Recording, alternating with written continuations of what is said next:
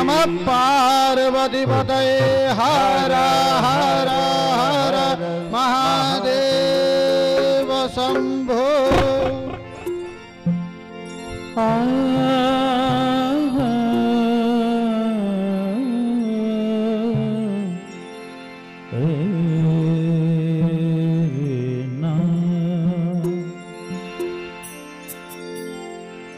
मेरु सतगुरु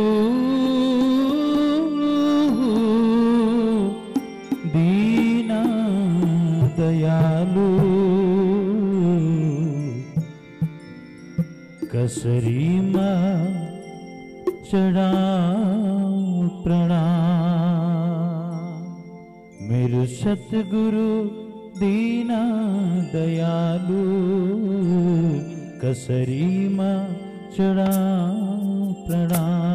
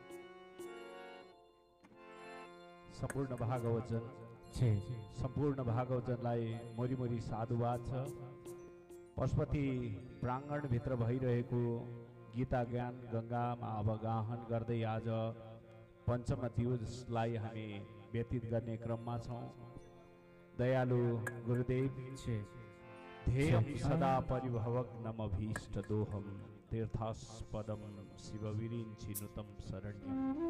भृत्यात्यहं प्रणतपाल भवाब्दिपोथं वन्दे महापुरुषते चरणारविन्दम् गुरुदेव हजुरका श्री चरणमा नमन गर्दै हामी भागवती गाथामा अवगाहन गर्न मुमुक्षुजनको उपस्थिति छ विद्वत समाजको उपस्थिति छ। यो कार्यक्रम डाक्टर साहबहरूको आयोजनामा भइरहेको छ। विद्वत समाजले आयोजना गरेको यो सुन्दर कार्यक्रममा श्रोतागण पनि विद्वत हुनुहुन्छ। हजुरका यो सुन्दर आवागमन यो सुन्दर उपस्थिति यो पण्डालभित्र गरिमामय बोकेको छ। अब हामी गुरुदेवका श्री मुखबाट अमृतमय कथा रसास्वादन गर्न हामी लालायित छौँ। गुरुदेव हजुरका श्रीमुखमा माता सरस्वतीको बास रहोस्। हृदय कमलमा राधाकृष्ण सहित अच्युत भगवानको बास रहोस्। यो सम्पूर्ण कार्यक्रम परिसरभरि पशुपति परिसरभरि हनुमानजी भोले बाबाको रूपमा विचरण गरिरहनुहोस् र सम्पूर्ण मानव मस्तिष्कमा लक्ष्मीको बास सहित गुरुदेवका श्री हस्त कमलमा माता लक्ष्मीको बास होस्। अब हामी ढिलो नगरिकन श्री गुरुजीका मुखमा सरस्वती स्वरूप भगवती गाथामा हामी अवगाहन गर्न चाहन्छौँ। अहिलेसम्मको कार्यक्रमले यही देखाएको छ कि हजुरका मुखबाट निक्लिने अमृतमय रसधारा सम्पूर्ण भागवत भागवतीजनलाई सुन्दर आनन्द दिएको छ। योभन्दा अझै आनन्द प्राप्त होस्। हजुरका वाणीमा सरस्वतीको सदैव बास रहोस्। गुरुजी, अब यो माइक्रोफोन हजुरलाई हस्तान्तरण गर्दछौँ। हजुरको मङ्गल होस्, कल्याण होस्, जय जय होस्।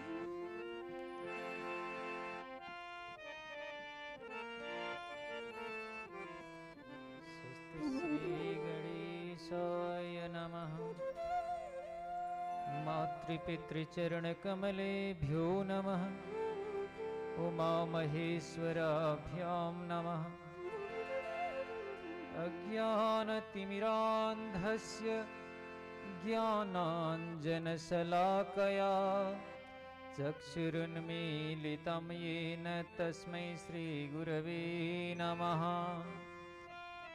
आद्यन्तमङ्गलमजातसमानभाव कौमार्यं तमीशमजरामरमात्मदेवम् पञ्चाननं प्रबलपञ्चविनोदशीलम् सम्भावये मनसि शङ्करमम्बिकेशम् हे कृष्ण करुणा सिन्धो दीनबन्धो जगत्पते। गोपीश गोपिका कान्त राधा कान्त नमोऽस्तु तप्त काञ्चन गौराङ्गी राधे वृन्दावनेश्वरी वृषभानुसुते देवी प्रणमामि हरिप्रिये। वाञ्छाकल्पतरुभ्यश्च कृपा सिन्धुभ्य एव च।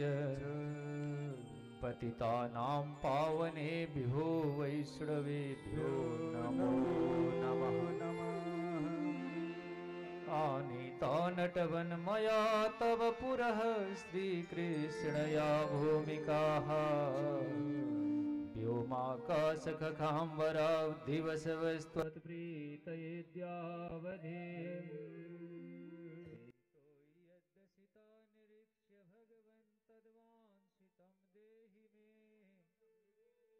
नो ब्रूहि कदापि मानय पुनर्मामीदृशीं भूमिकाम् मूकं करोति वाचालं पङ्गुं लङ्घयते गिरिं। यत्कृपातमहं वन्दे परमानन्दमाधवं वागीसायस्य दे लक्ष्मीर्यस्य च वक्षसि यस्यास्ति हृदये संवित्तं नृसिंहमहं भजे। सर्वे भवन्तु सुखिनः, सर्वे सन्तु निरामयाः। सर्वे भद्राणि पश्यन्तु, मा कश्चित् दुःखभाग् भवेत्।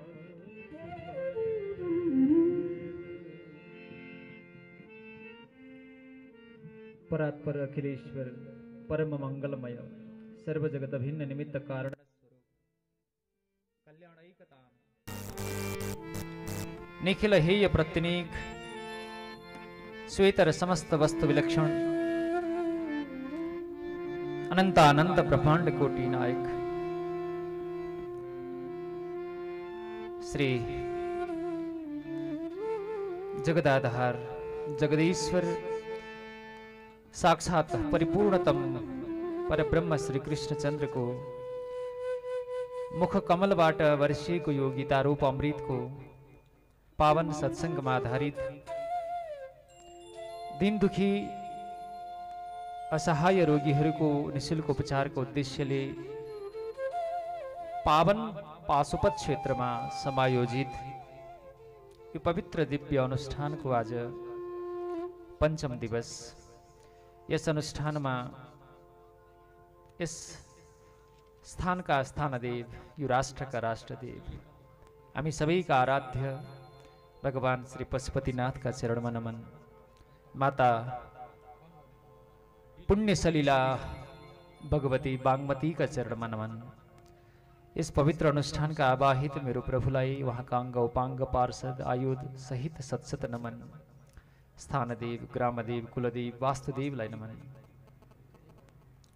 देव सत्ता, ऋषि सत्ता, र पितृसत्तालाई पनि वन्दन गर्दै यहाँ समुपस्थित ज्ञात अज्ञात पवित्र आत्माहरूलाई प्रणाम, नमन।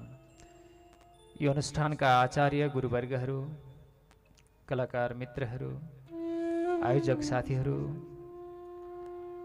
समुपस्थित भक्तिमती, मातृशक्ति तथा सज्जन महानुभावहरू हर हर महादेव मेरो प्रभु करुणाको खानी भगवान्ले हामी सबैलाई कृपा गर्नुभएको छ उहाँको अनुग्रह बिना हामी उहाँको स्मरण गर्न सक्दैनौँ उहाँको चिन्तन गर्न सक्दैनौँ। उहाँप्रति मन लाग्दैन। मायाले मायाले जसको ज्ञानलाई अपहरण गरिएको छ मायाद्वारा ज्ञान अपहरण भएका व्यक्तिहरूको चित्त संसारमा लाग्दछ। र जसलाई प्रत्यक्ष भगवानको नजर छ जसमा प्रत्यक्ष भगवानको कृपा छ त्यस्ता जनहरूले भागवती कथा भगवत चर्चा शास्त्र चिन्तन को पावन अवसर प्राप्त गर्दछन्। हामी सबै धन्य छौँ। राष्ट्रका लागि युवा युथ फर नेसन यो संस्थामा अत्यन्त ऊर्जाले भरिएका युवा डक्टरहरू इन्जिनियरहरू अनेक ऊर्जावान युवाहरूको पावन उपस्थिति छ। उहाँहरूको हृदयमा एउटा सपना जाग्यो। उपचार नपाएर पैसाको अभावमा उपचार नपाएर कोही मर्नु नपरोस्। यो सोच नै पवित्र सोच हो। आजको स्वार्थी मनुष्यले जब अरूलाई कष्ट नहोस् कसैलाई दुःख नहोस् भन्ने चिन्तन गर्दछ। करुणाको भावले अभिप्रेरित भएर कुनै सत्कर्म अनुष्ठान गर्ने जमर्को गर्दछ। त्यो धेरै ठुलो कुरा हो। यी नवोदित युवाहरूलाई भगवानको महती कृपा हो भएको छ। जसका कारण विज्ञानसँगै ज्ञानमा उहाँहरू रमाउनु भएको छ। सेवाको कर्ममा जुट्नु भएको छ। यो पावन पाशुपत क्षेत्रमा बसेर गीताका सात सय श्लोकहरूलाई सुन्नु पनि धेरै ठुलो कुरा हो। हिजोसम्म नौ अध्यायसम्म हामी श्रवण गरिसक्यौँ आजबाट दसौँ अध्याय र त्योभन्दा माथिका अध्यायहरूमा अगाडि बढ्दैछौँ। आउनुहोस् केही बेर भगवानको सङ्कीर्तन गर्दै भगवानको भजन गर्दै यो पावन अनुष्ठानमा अगाडि बढ्छौँ।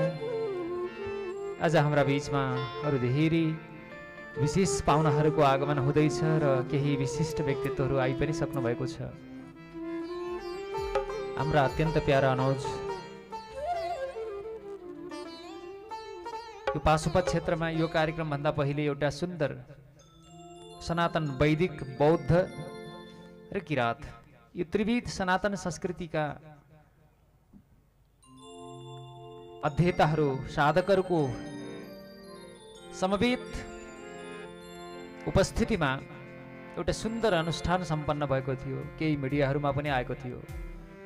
जहाँ किराँत धर्मगुरुहरू बौद्ध धर्मगुरु र हिन्दू गुरु एकै ठाउँमा बसेर आफआफ्नो विधिले भगवानको पूजा गर्नुभएको थियो। अत्यन्त उदार सद्भावको सहिष्णुताको पारस्परिक सम्मानको अत्यन्त सुन्दर उदाहरण प्रस्तुत भएको थियो। त्यो गराउने उमेरमा सानो तर साँच्चै अत्यन्त ऊर्जाले भरिएका र युट्युबहरूमा हजुरहरूले भाइरल ज्योतिषी गुरु भनेर देख्नुभयो होला। हाम्रो खगेन्द्र गुरु खगेन्द्र गुरुलाई एकचोटि ताली बजाएर स्वागत गरिदिनु होला। जय होस्। सुरुमा आएर भागेर कता जानुभएछ। आज बल्ल आउनु भएको छ। कान्तिपुरका स्तम्भकार अनुवादक युवा विचारक आदरणीय शङ्कर तिवारीज्यूको यहाँ उपस्थिति छ उहाँलाई पनि सम्मान। यहाँ अरू धेरै विशिष्ट व्यक्तिहरू हुनुहुन्छ।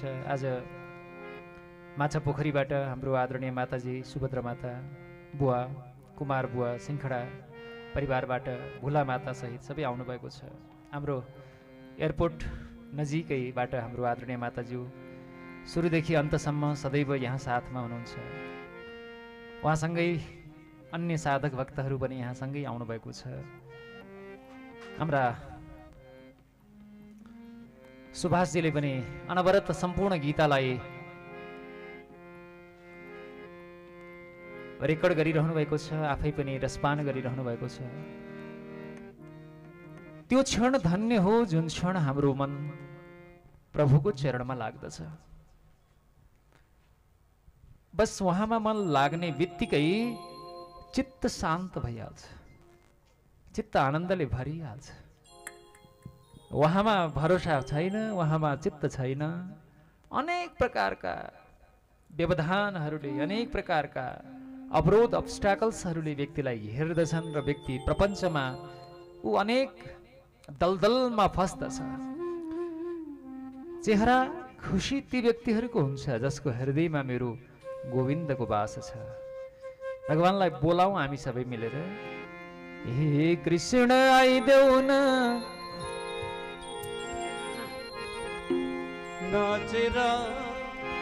हे कृष्ण आइदेऊ न क्षमा क्षमा नाचेर हे कृष्ण आइदेऊ न छम छम नाचेर गरिबको झुपडीमा मसु मसु हाँसेर। गरिबको झोपडीमा मुसु मुसु हाँसेर।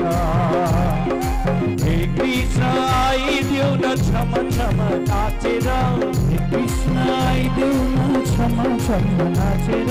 गरिबको झोपडीमा मुसु मुसु हाँसेर। गरिबको झोपडीमा मुसु मुसु हाँसेर घोडा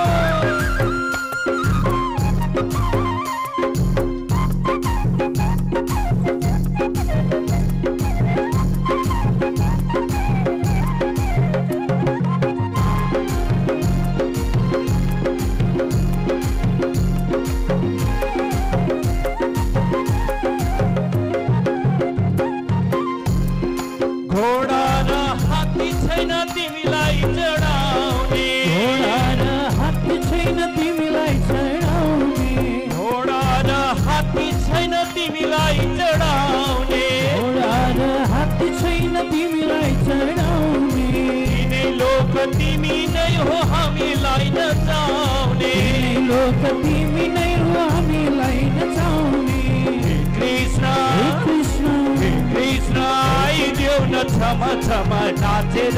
हे कृष्ण आइदेऊ न क्षमा क्षमा नाचेर गरिबको झोपडीमा मुसु मुसु हाँसेर गरिबको झोपडीमा मसु मसु हाँसेर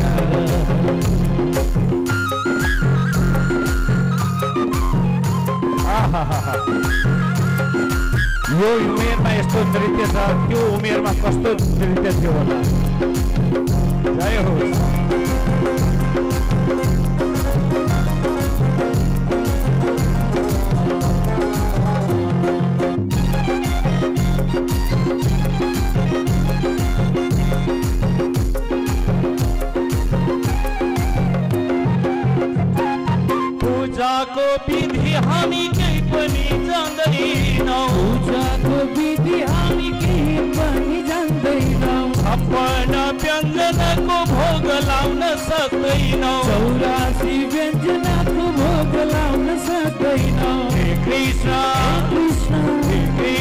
खाइदियो न भक्ति मिठो मानेर कृष्ण खाइदेऊ न भक्ति मेरो मानेर गरिबको झुपडीमा।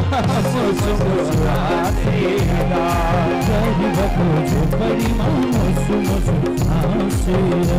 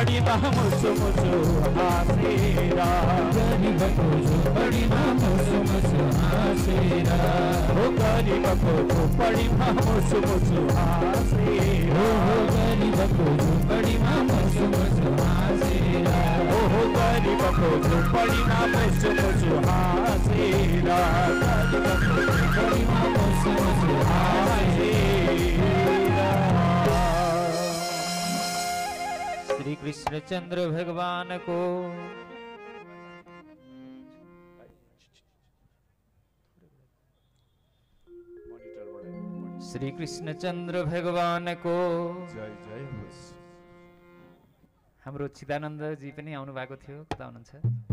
हजुरलाई यसो माथि बोलाएँ मैले। आउनुहोस् त एउटा भजन सुनाउनुपर्छ अहिले।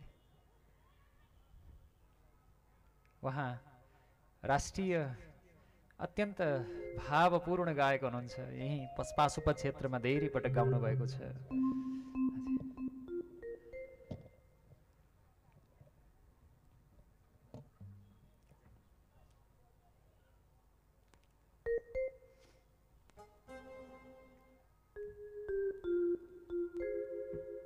भगवान्लाई मनले बोलाइरहेकाहरू। भगवान्लाई बोलाउँदा मात्र पनि रस हुन्छ आनन्द हुन्छ उमङ्ग हुन्छ। आउँदा कस्तो होला? होइन? खगेन्द्र गुरु? ओके। भगवानको स्मरण मात्र गर्दा पनि परम आनन्दले हृदय भरिन्छ। जब त्यो क्षण कस्तो होला? जुन क्षण हामीलाई भेट्नका लागि स्वयं जगदीश्वर भगवान आउनुहुन्छ। हामी सामान्य संसारका कोही मन्त्री प्रधानमन्त्री राष्ट्रपति कोही ठुल्ठुला मान्छे भेट्दा पनि सेल्फी लिने गर्छौँ। सेल्फी लिँदा लिँदै अहिलेको मान्छे धेरै सेल्फिस भएको छ। हर हर महादेव। सेल्फलाई बिर्सिएको छ। आत्मतत्वबाट टाढा पुगेको छ। त भगवान स्वयं जुन क्षण आउनुहोला आउनुहुन्छ कस्तो होला त्यो क्षण? तर मिलनको आनन्द अतिशय प्रेमले हुन्छ। त्यसैले हृदयलाई दिव्य प्रेम रसले भरिदिउँ प्रार्थना भावले भरिदिउँ अहोभावले कृतज्ञताले।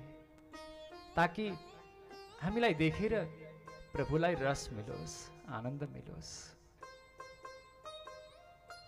थाहा छ भगवान् श्रीकृष्णले वृन्दावन छोडेर गइसकेपछि ब्रजवासीहरू विरहको दशामा मर्न लागेका थिए।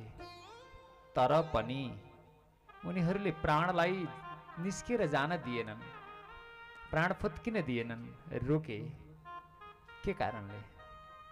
त्यो प्राण रोकेका थिए ब्रजवासीहरूले श्री कृष्णका लागि। आयासे म आउनेछु भनेर जानुभएको थियो। हजुरहरूसँग मेरो मिलन फेरि हुनेछ भनेर जानुभएको थियो। आशा देखाएर जानुभएको थियो। भरोसा दिलाएर जानुभएको थियो। अब उहाँ पक्कै आउनुहुन्छ। उहाँ आउँदा हामीलाई नदेखेर उहाँलाई दुःख होला। कष्ट होला। बस यही भावले हाम्रो मृत्युले भगवान कृष्णलाई गोविन्दलाई कष्ट नहोस् यो भावले उनीहरू जीवित रहिरहे। भक्तको जीवन भगवानका लागि भक्तको मृत्यु पनि भगवानका लागि। ऊ बाँचेको हुन्छ प्रभुका लागि। यदि भगवानका लागि मर्नु पर्यो भने उसलाई कति पनि गाह्रो लाग्दैन।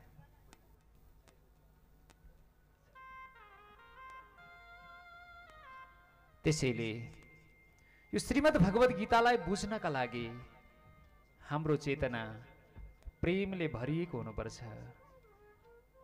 श्रीमद् भगवत गीतालाई बुझ्नका लागि हाम्रो हृदय शरणागतिमा हुनुपर्छ। ननु नाच चल्दैन शरणागतिमा। तर किन्तु परन्तु बट लेकिन यस्ता शब्द चल्दैनन् यहाँ यहाँ जे छ त्यो समर्पित हुन्छ।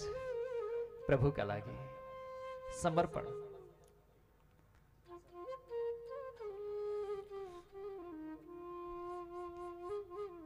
बलियो आश्रय प्राप्त गरिएपछि हरेक व्यक्तिहरू निर्धक्क भएर बस्छन्।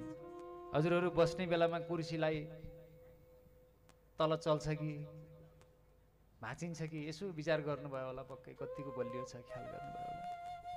यो जीवनको आधार के त? यो जीवनको आधार हो गोविन्द। उहाँ जगतका आधार जगदाधार हुनुहुन्छ। त्यसैले हर पल चाहे हामी संसारका जुनसुकै कर्ममा प्रवृत्त हौँ हाम्रो चेतना प्रभुमा भित्रदेखि जोडियोस्। मन वीणाको तार प्रभुको श्री चरणमा बाँधिएको त्यो तार टुट्न नपाओस्। त्यो कृष्ण प्रेमको झङ्कारले झङ्कृत भइरहोस्। भगवान् श्री कृष्णका विभूतिहरूको वर्णन दसौँ अध्यायमा छ। भगवान् श्रीकृष्णले हजुरहरूलाई थाहा छ जहाँ धेरै ऊर्जा छ त्यहाँ मान्छेलाई बोलेर बिसाउन मन लाग्दैन।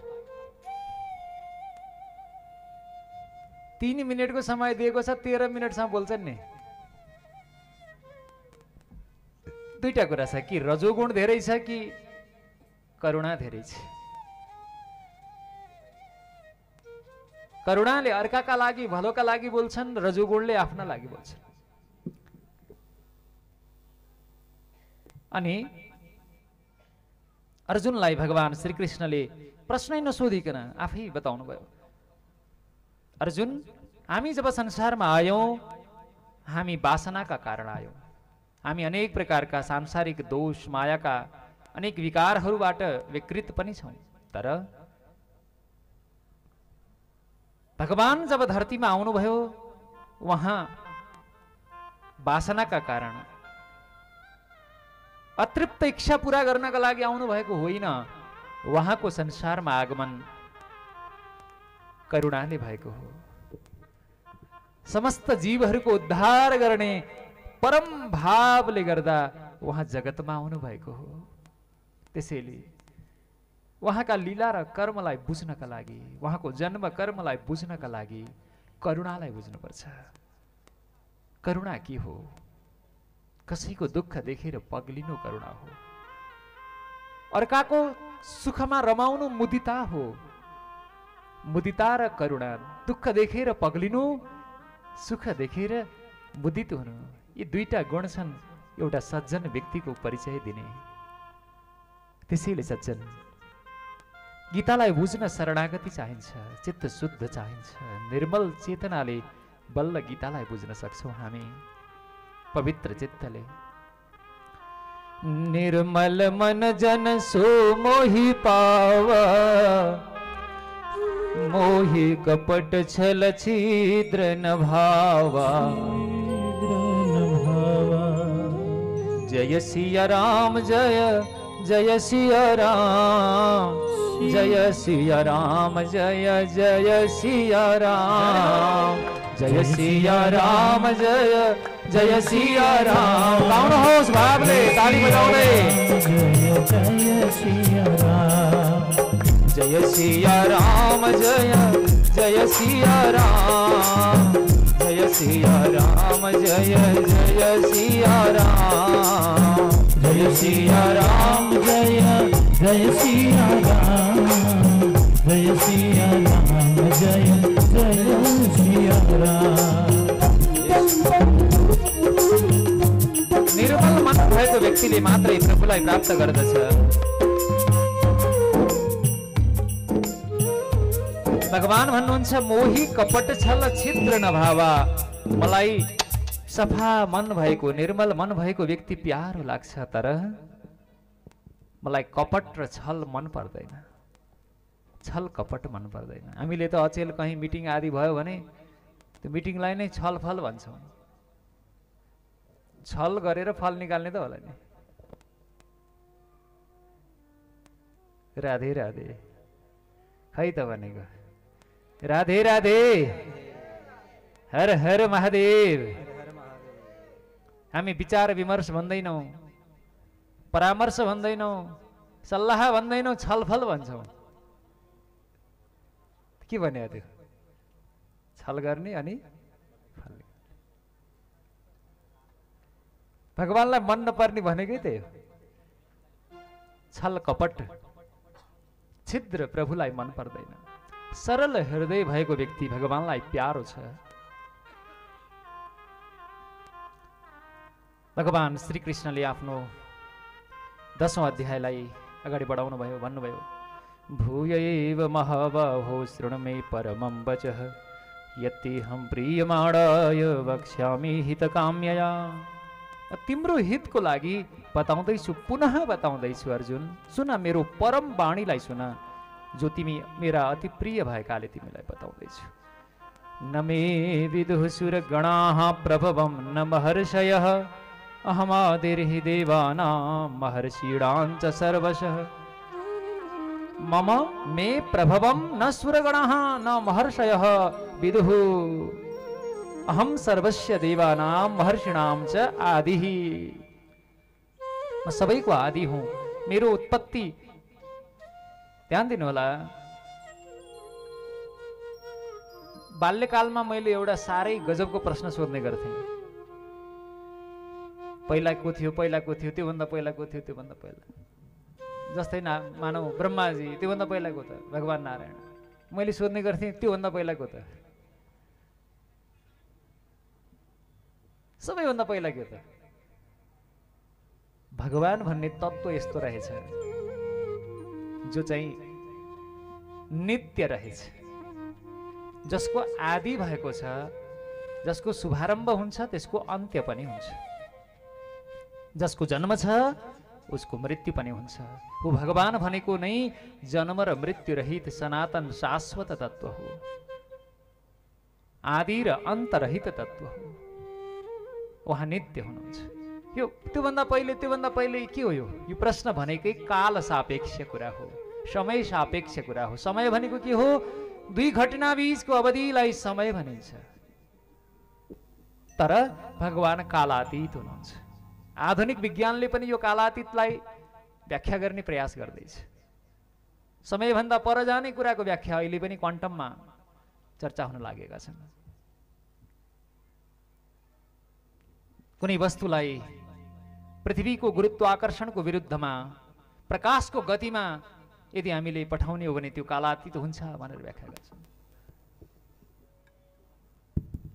भगवान् सबैको आदि हुनुहुन्छ तर उहाँको आदि कोही छैन। उहाँ नित्य हुनुहुन्छ। त्यसैले उहाँलाई कसैले पनि जान्दैन। आफ्नो बाबुआमाको बिहामा पनि कोही सन्तान जान पाउँछन् र? त्यो त पछिका हुन्? पछि जन्मिएका हुन्। बुद्धिर यो मामजमनादिं च वेत्ति लोकमहेश्वरम् असम्मूढः समर्थेषु सर्वपापैः प्रमुच्यते। जसले मलाई अनादि जान्दछ सम्पूर्ण लोकको महेश्वर जान्दछ सबै मनुष्यहरूमा जो व्यक्तिले मलाई मोहरहित भएर सम्पूर्ण लोकको महेश्वर जन्मरहित आदिरहित भनेर जान्दछ त्यो सबै पापबाट मुक्त बन्दछ। बुद्धि ज्ञान मोहरहित भाव क्षमा सत्य दम श्रम। दमसम भनेको बाह्य इन्द्रियहरूको निग्रहलाई दम मनको निग्रहलाई सम सुख दुःख भव अभाव भय अभय यति मात्र होइन। अहिंसा समता हिजो हामी समताको चर्चा गरेका थियौँ हिजो अस्ति। तुष्टि सन्तुष्टि। तप दान यस अपयस। भवन्ति भावा भूतानां मत्त एव पृथग्विदाः। यी नाना प्रकारका भावहरू मबाटै हुन्छन् अर्जुन। पहिले सात ऋषिहरू उत्पन्न भए चार कुमारहरू उत्पन्न भए महर्षयः सप्तपूर्वे चत्वारो मनवस्तथा। मदभावा मानसा जाता येषां लोकैमाः प्रजाः जसबाट सम्पूर्ण संसारका प्राणीहरूको विस्तार भयो ती ती पनि मेरै मानस भावबाट उत्पन्न भएका हुन्। म तिमीलाई मेरो विभूति योगको रहस्य बताउँछु जसलाई प्राप्त गरेपछि तिमी मेरो निश्चल भक्ति योगले युक्त हुनेछौ अर्जुन। हरेक ठाउँमा जे वैभव देखिन्छ विभूति देखिन्छ त्यो प्रभुको प्रतिनिधि हो। यो राजालाई भगवानको स्वरूप मानेको पनि त्यसै गरी राजाले देशको रक्षा गर्ने कार्य गर्दछन्। राजतन्त्रात्मक मुलुकमा राजा गणतान्त्रिक देशमा राष्ट्रपति। त्यो समूहको त्यो राष्ट्रको प्रमुख सबैलाई शासन गर्ने सबैलाई नियन्त्रण गर्ने व्यक्तिलाई भगवानको विभूति मानिएको छ। यो जुन चर्चा छ त्यसैको अरू धेरै छन् यस्ता। अब यहाँहरूलाई विस्तारले म बताउँछु। म सबैको आदि हुँ। मबाटै सबै उत्पन्न हुन्छ अर्जुन। यस प्रकारको ज्ञान भएको व्यक्तिले भावले युक्त भएर सदैव मेरो भजन गरिरहन्छ। मलाई नबिर्सनका लागि चेष्टा गर्छ मलाई प्रेम रस दिनका लागि प्रयत्न गर्दछ अर्जुन। ममा चित्त भएका व्यक्तिहरू ममै प्राण अर्पित गरेका व्यक्तिहरूले परस्परमा मेरै चर्चा गर्छन् मेरै कथा गर्दछन्। एकले अर्कालाई मेरै कथा सुनाउँछन् र उनीहरू नित्य आनन्दमा रमाउँछन् प्रसन्न हुन्छन्। ती व्यक्तिहरूलाई मैले प्रीतिपूर्वक मेरो भजन गर्नेहरूलाई म दिव्य बुद्धियोग प्रदान गर्दछु जसबाट उनीहरूले मलाई जान्दछन् मेरो समीपमा आउँछन् मलाई प्राप्त गर्दछन्। उनीहरूलाई कृपा गर्नका लागि म उनीहरूको हृदयमा उज्यालो दीपक बनेर प्रकट हुन्छु र उनीहरूको हृदयको अज्ञान अन्धकारलाई म हटाइदिन्छु। अर्जुनले प्रश्न सोधे हे केशव हजुर नै परब्रह्म हुनुहुन्छ परमधाम हुनुहुन्छ पवित्र हुनुहुन्छ परम तत्व हुनुहुन्छ शाश्वत पुरुष हुनुहुन्छ आदिदेव हुनुहुन्छ विभु व्यापक हुनुहुन्छ। हजुरलाई नै ऋषिहरूले देवर्षि नारदले असित देवल व्यास सबैले हजुरलाई भगवानका रूपमा प्रतिपादन गर्दछन् र हजुर स्वयंले पनि त भन्नुभएको छ।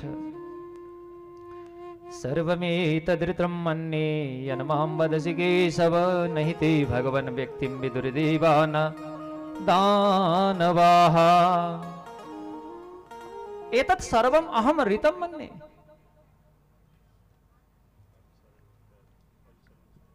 ए प्रभु हे केशव हजुरले जे भन्दै हुनुहुन्छ त्यो सबै म सत्य हो भनेर बुझ्दछु। हजुरको व्यक्ति ते व्यक्तिम दानवाह देवाह न विदुहु दानवहरूले पनि र देवताले पनि हजुरको उत्पत्तिलाई जान्दैनन् महत्त्वलाई बुझ्दैनन्। अहिले स्वयं हजुरले हजुर स्वयंले नै आफैलाई जान्नुहुन्छ प्रभु। हे भूत भावन हे भूतेश हे देवदेव हे जगतपति। हजुर आफ्ना अशेष विभूतिहरूलाई वर्णन गर्न हजुर स्वयं समर्थ हुनुहुन्छ। जो जो विभूतिहरूबाट सम्पूर्ण जगतलाई व्याप्त गरेर हजुर स्थित रहनु भएको छ। हे योगिन म हजुरलाई कसरी जानु? म हजुरको चिन्तन गर्दै कुन कुन भावबाट म हजुरलाई स्मरण गरौँ? हजुर कसरी चिन्त्य हुनुहुन्छ? स्म- स्मृत्य हुनुहुन्छ। म हजुरको विस्तारपूर्वक विभूतिलाई श्रवण गर्न चाहन्छु किनकि हजुरबाट सुन्दाखेरि मलाई तृप्ति भएको छैन। अझै सुनौ। अझ श्रवण गरौँ। सुनिरहँ। यस्तो मलाई भइरहेको छ। ते अमृतम हजुरको अमृत वाणीलाई सुनेर मलाई तृप्ति भएको छैन। चित्त शुद्ध भयो भने भगवान नाम प्यारो लाग्छ। साधुजनहरू प्रिय लाग्छन्। साधकहरू आफ्ना लाग्छन्। यदि कसैको जीवनमा सन्तजनहरू साधकजनहरू प्यारा लाग्छन् भने ती व्यक्तिहरू भाग्यमानी हुन्। ती व्यक्तिहरू भगवानका परम कृपाभाजन हुन्। अब भगवानले भन्नुहुन्छ नेपालीमा हामीले हन्त भन्छौँ नि हन्त। यो संस्कृत शब्द हो। यो श्लोकमा भगवानले हन्तबाटै उपदेश सुरु गर्नुभएको छ। हन्त ते कथयिष्यामि दिव्या ह्यात्मविभूतय प्राधान्यतः कुरु श्रेष्ठ नास्त्यन्तो विस्तरस्य मे। ते हन्त अब अब भन्ने अर्थमा हन्त आएको छ यहाँ। हो है हामीले त हो है भन्ने अर्थमा अन्त भन्छौँ। यतातिर भन्नुहुन्छ नि हजुरले होइन?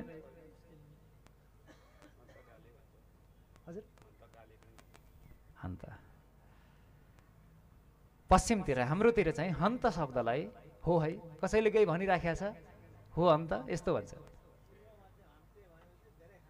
ल। ल पूर्व र पश्चिममा चाहिँ यो शब्दको प्रयोग फरक फरक अर्थमा छ। भाषिका भन्छ यस्तोलाई। अब यहाँ संस्कृतमा चाहिँ अब यसपछि भन्ने अर्थमा हन्त शब्दको प्रयोग छ। यसपछि म तिमीलाई मेरा आत्मविभूतिहरूको वर्णन गर्दैछु अर्जुन। त्यो पनि सबै भन्न त सम्भव छैन।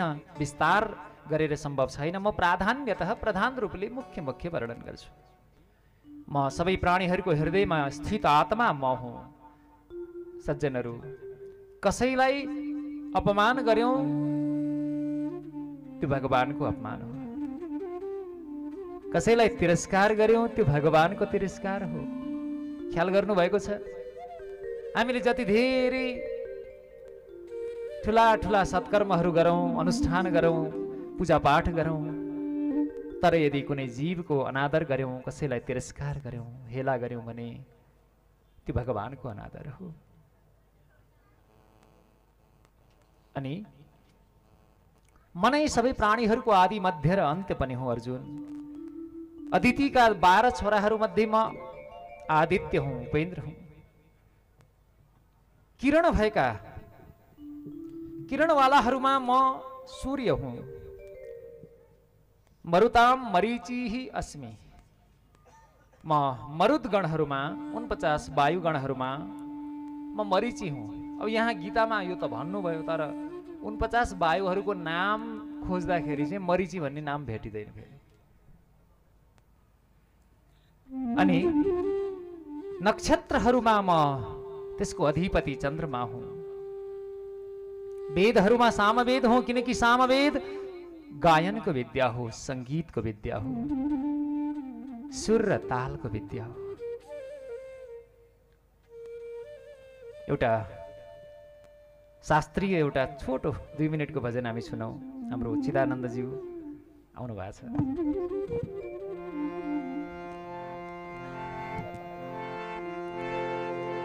हरिओम यो सुरम्य दिव्य समय प्रदान गरिदिनु हुने श्रद्धेय प्रात स्मरणीय चैतन्य कृष्ण गुरुज्यूका चरणारविन्दमा अनन्त कोटि प्रेमाञ्जली अर्पण गर्दै म आचार्य खेमराज केशव शरण महाराजज्यूले रचना गर्नुभएको यो शब्द यहाँ श्रवण गराउँदछु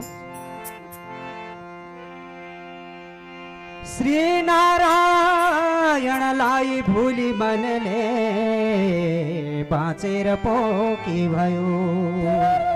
श्री श्रीनारायणलाई भुली मनले बाँचेर पोके भयो। व्यर्थै देह बढाए बुद्धि बलयो। साँचेर पो के भयो। छाडी शास्त्र परम्पराको पथमा आ,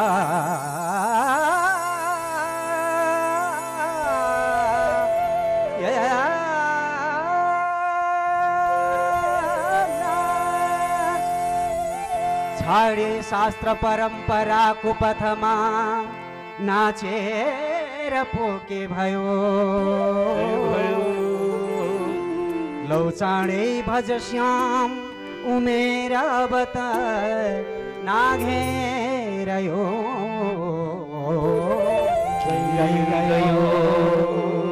गयो श्रीनारायण भगवानको सद्गुरुदेव भगवानको आजको आनन्दको जय जय नारायण नारायण।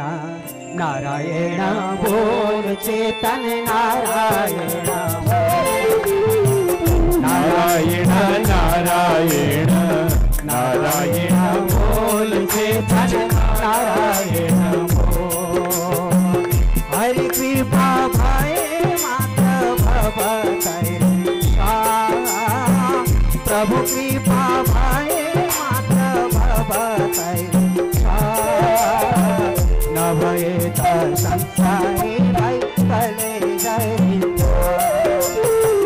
नभए त संसारी भई कलेजाइदिन्छ त्यसैले त वेद भन्छन् नारायण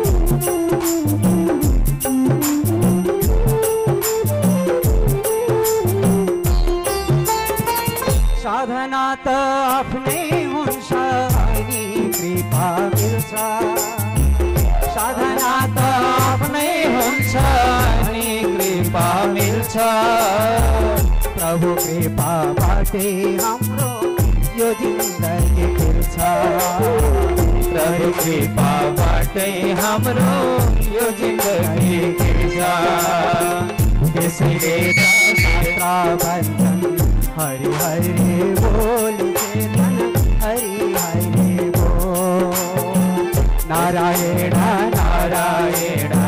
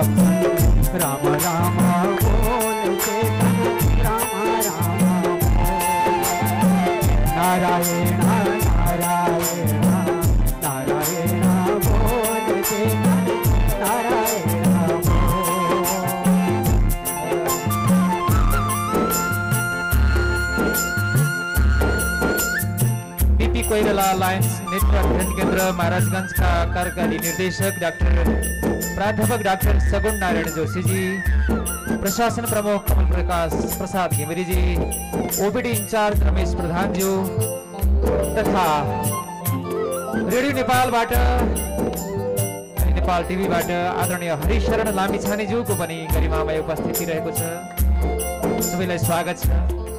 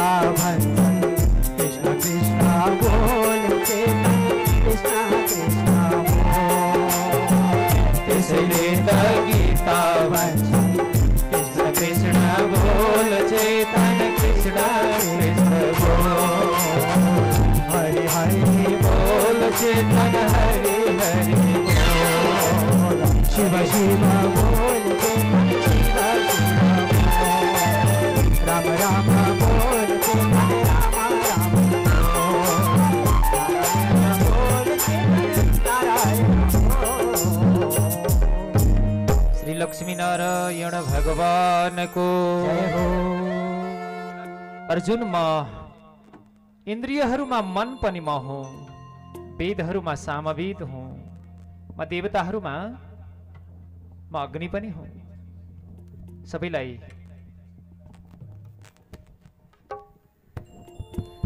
वासव इन्द्र पनि म हुँ। इन्द्रियहरूमा मन हुँ प्राणीहरूमा चेतना हुँ। म एकादश रुद्रहरूमा शङ्कर हुँ। यक्ष र राक्षसहरूमा वित्तेसह वित्तका ईश कुबेरमा हुँ पवित्र बनाउनेहरूमा वसुहरूमा म पावक अग्नि हुँ। अनि शिखरवाला पर्वतहरूमा म सुमेरु हुँ। सुन्दर भजन गाइदिनु भएका हाम्रा चिदानन्दज्यूलाई एकचोटि ताली बजाइदिनु होला सबैले जोरदार। अत्यन्त सरल भक्त हुनुहुन्छ। सत्सङ्गी हुनुहुन्छ। यस्ता युवाहरू अहिले भेट्न गाह्रो छ जसले सत्य तत्त्वको साधना गर्दछन्। पुरोधसाम च मुख्यम माम विद्धि पार्थ बृहस्पति। हे पार्थ पुरोहितहरूमा म बृहस्पति हुँ। अब यो पुरोधस पुरोहित भन्ने शब्दलाई बुझौँ। यो ऋग्वेदमा सुरुमा पनि यसको प्रयोग छ। अग्निमीडे पुरोहितम। म अहम पुरोहितम अग्निम ईडे। म पुरोहित अग्निको स्तुति गर्दछु। पुरोहित भन्ने शब्द कसरी भन्छ? पुरोहित भनेको के हो? ध्यान दिनुहोला। जसको चेतना केवल आफ्ना घरका छोराछोरीमा मात्र परिवारमा मात्र सीमित छ त्यस्ता शिशुहरूमा बालबच्चाहरूमा मात्र ठिक्क भएर बसेको व्यक्तिलाई शिशुपाल भन्छ के भन्छन् अरे? सबैले भन्नुहोस् त। आफ्ना शिशुहरूको लालन पालनमा मात्र ठिक्क भएर बसेको व्यक्तिलाई के भन्छन्? हामी त छैनौँ त्यस्तो।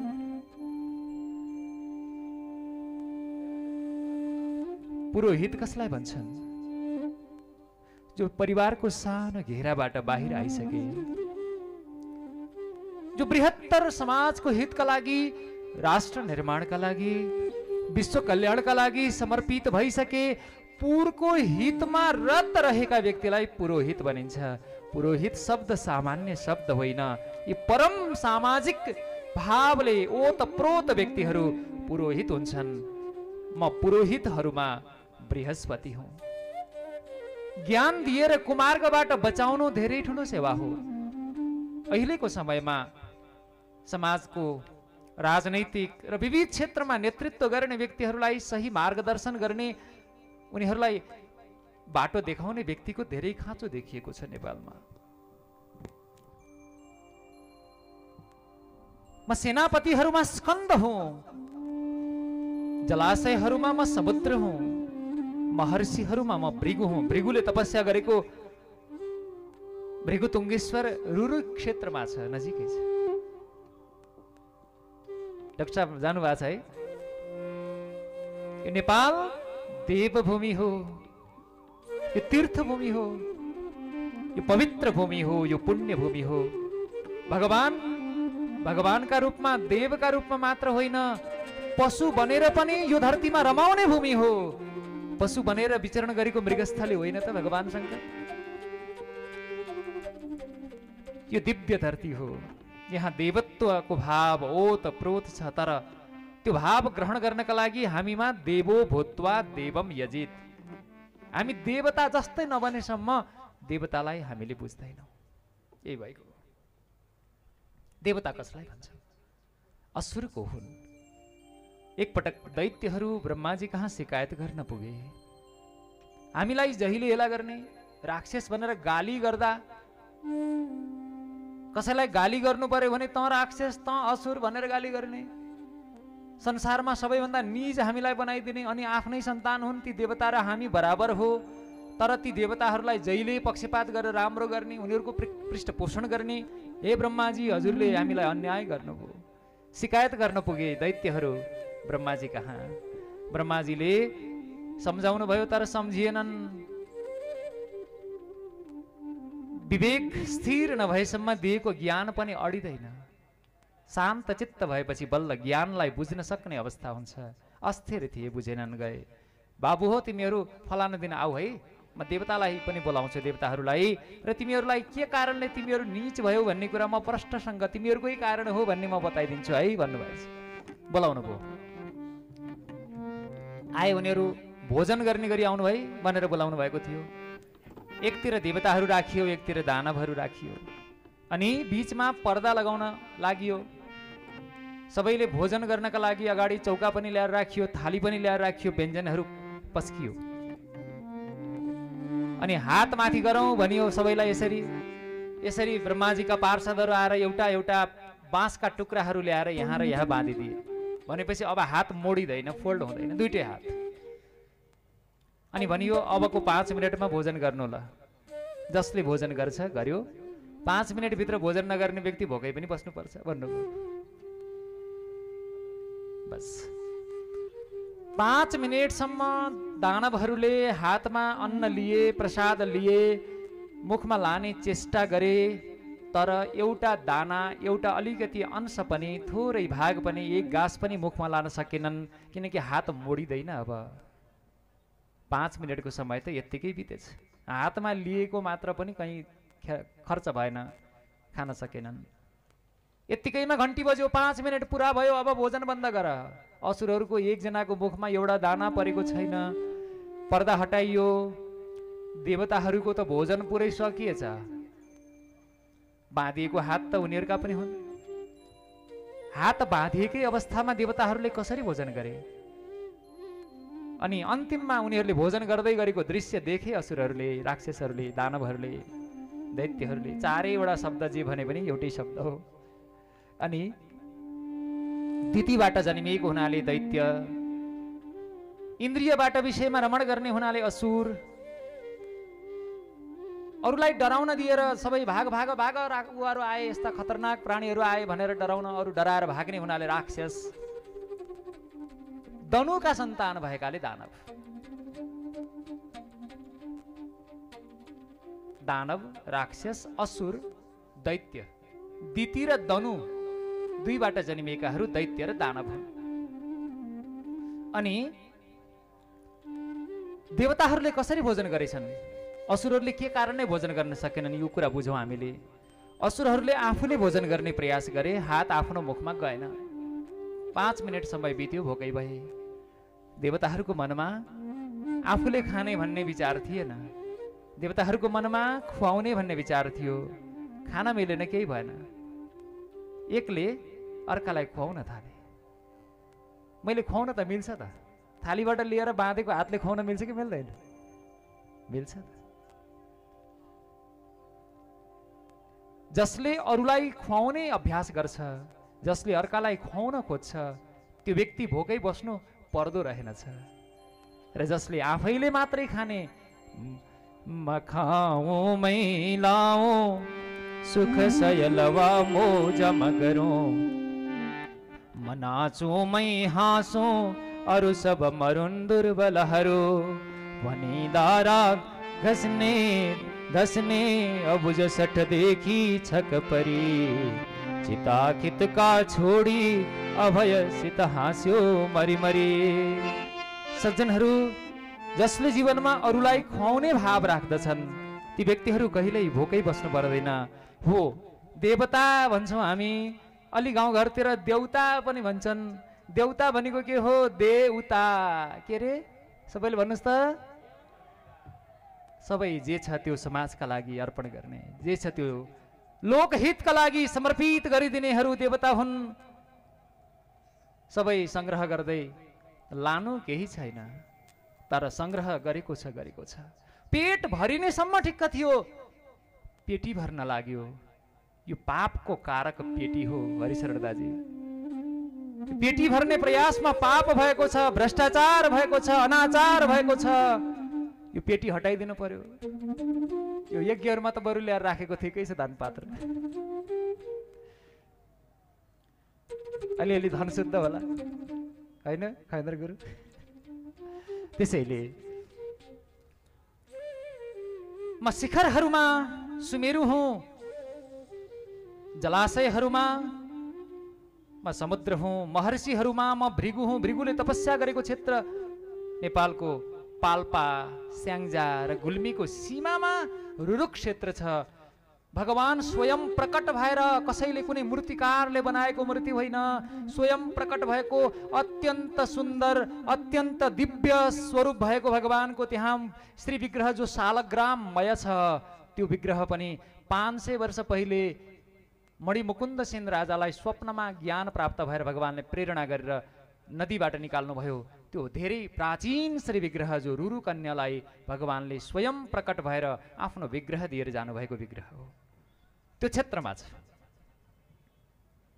म अक्षरहरूमा ओम हुँ एक अक्षर। म यज्ञहरूमा जप यज्ञ हुँ जप भनेको भगवान नामको जप। कलियुग केवल नाम अधारा सुमिर सुमिर नर उतरहि पारा। कलियुगमा एक मात्र साधन भनेको नाम हो। यसरी बस्दा पनि जप गरिराखौँ मन्त्र जप गरिराखौँ। जति धेरै जप गर्यो चित्त शुद्ध हुँदै जान्छ कुनै क्षण त्यस्तो आउँछ। जब कृपाको खानी भगवानले करुणा गरेर कृपा गरेर आफ्नो रहस्य प्रकाशित गरिदिनुहुन्छ। स्थिर रहने पदार्थहरूमा म पहाड हुँ हिमालय हुँ। वृक्षहरूमा पिपल हुँ अहिले पिपल काट्न थाले। एउटा वृक्ष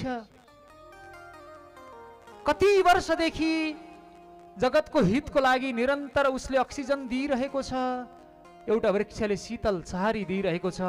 एउटा वृक्षलाई कसैले झटारो हान्यो भने प्रहार गर्यो भने पनि उसले उपहार दिन्छ। प्रहार गर्दा पनि उपहार दिने संसारमा को छन्? वृक्षहरू छन्। को छन्? प्रहार गर्दा पनि के दिन्छन्? उपहार दिन्छन् सुन्दर फलहरू दिन्छन् सुशीतल छहारी दिन्छन्। भगवान श्रीकृष्णले वृक्षहरूको जीवनको धन्यतालाई स्तुति गर्नुभएको छ प्रशंसा गर्नुभएको छ श्रीमद् भागवतमा हे बलराम हे दाजी यी वृक्षहरू धन्य छन्।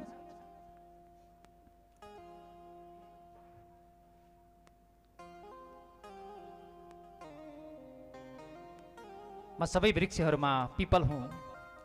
म देव ऋषिहरूमा नारद हुँ।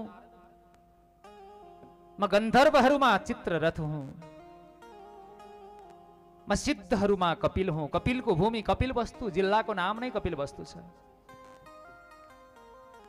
म घोडाहरूमा अमृतका साथमा उत्पन्न भएको उच्च स्रवा घोडा हुँ।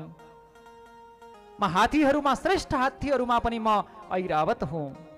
मनुष्यहरूमा नरा नराणाञ्च नराधिपम ल हेर्नुहोस् नराधिप। नरहरूमा नराधिप हुँ। म आयुधहरूमा वज्र हुँ। म प्राणीहरूमा गाई हुँ। काम धेनु नाम अहम कामधुक अस्मि। कामधेनु गाई हुँ। गाईहरूमा पनि कामधेनु गाई। प्रजनश्च कन्दर्प। सन्तान उत्पत्तिको कारक प्रजनन पनि म नै हुँ कामदेव म हुँ सर्पहरूमा वासुकी हुँ नागहरूमा अनन्त हुँ। जलमा रहनेहरूमा जलचरहरूका अधिपति वरुण देवता पनि म हुँ वरुणो यादसामहम पितॄणाम अर्यमा चास्मि यमः संयमतामहम म पितृहरूमा अर्यमा हुँ। म सबैलाई संयममा राख्नेहरूमा नियमित संयमित दण्डित गर्नेहरूमा पनि म यमराज हुँ। म दैत्यहरूमा प्रह्लाद हुँ। गणना गर्नेहरूमा म काल हुँ। अनि पशुहरूमा म सिंह हुँ। पक्षीहरूमा म गरुड हुँ। म पवन पवतामस्मि पवित्र बनाउने वस्तुहरूमा वायु हुँ। शस्त्रधारीहरूमा राम हुँ। म जलमा बस्ने माछाका अनेक प्रजातिहरू जलचरहरू मध्ये म गोही हुँ। नदीहरूमा म जाह्नवी हुँ भागीरथी हुँ। सर्गहरूको आदि मध्य र अन्त पनि म हुँ अर्जुन। अब एउटा कुरा बुझौँ। अध्यात्म विद्या विद्या नाम बाध प्रवदतामहम विद्याहरूमा अध्यात्म विद्या हुँ। अनि परस्पर विवाद गर्ने कुराहरूमा म वाद हुँ। तत्व निर्णयका लागि गरिने वादे वादे जायते तत्वबोध म त्यो वाद पनि म हुँ। अब विद्याहरूमा के अरे भगवान्? अध्यात्म विद्या। जो सन्तानहरूले अहिले स्कुल कलेजमा युनिभर्सिटीहरूमा के पढाइएको छ? पैसा कमाउने तरिका।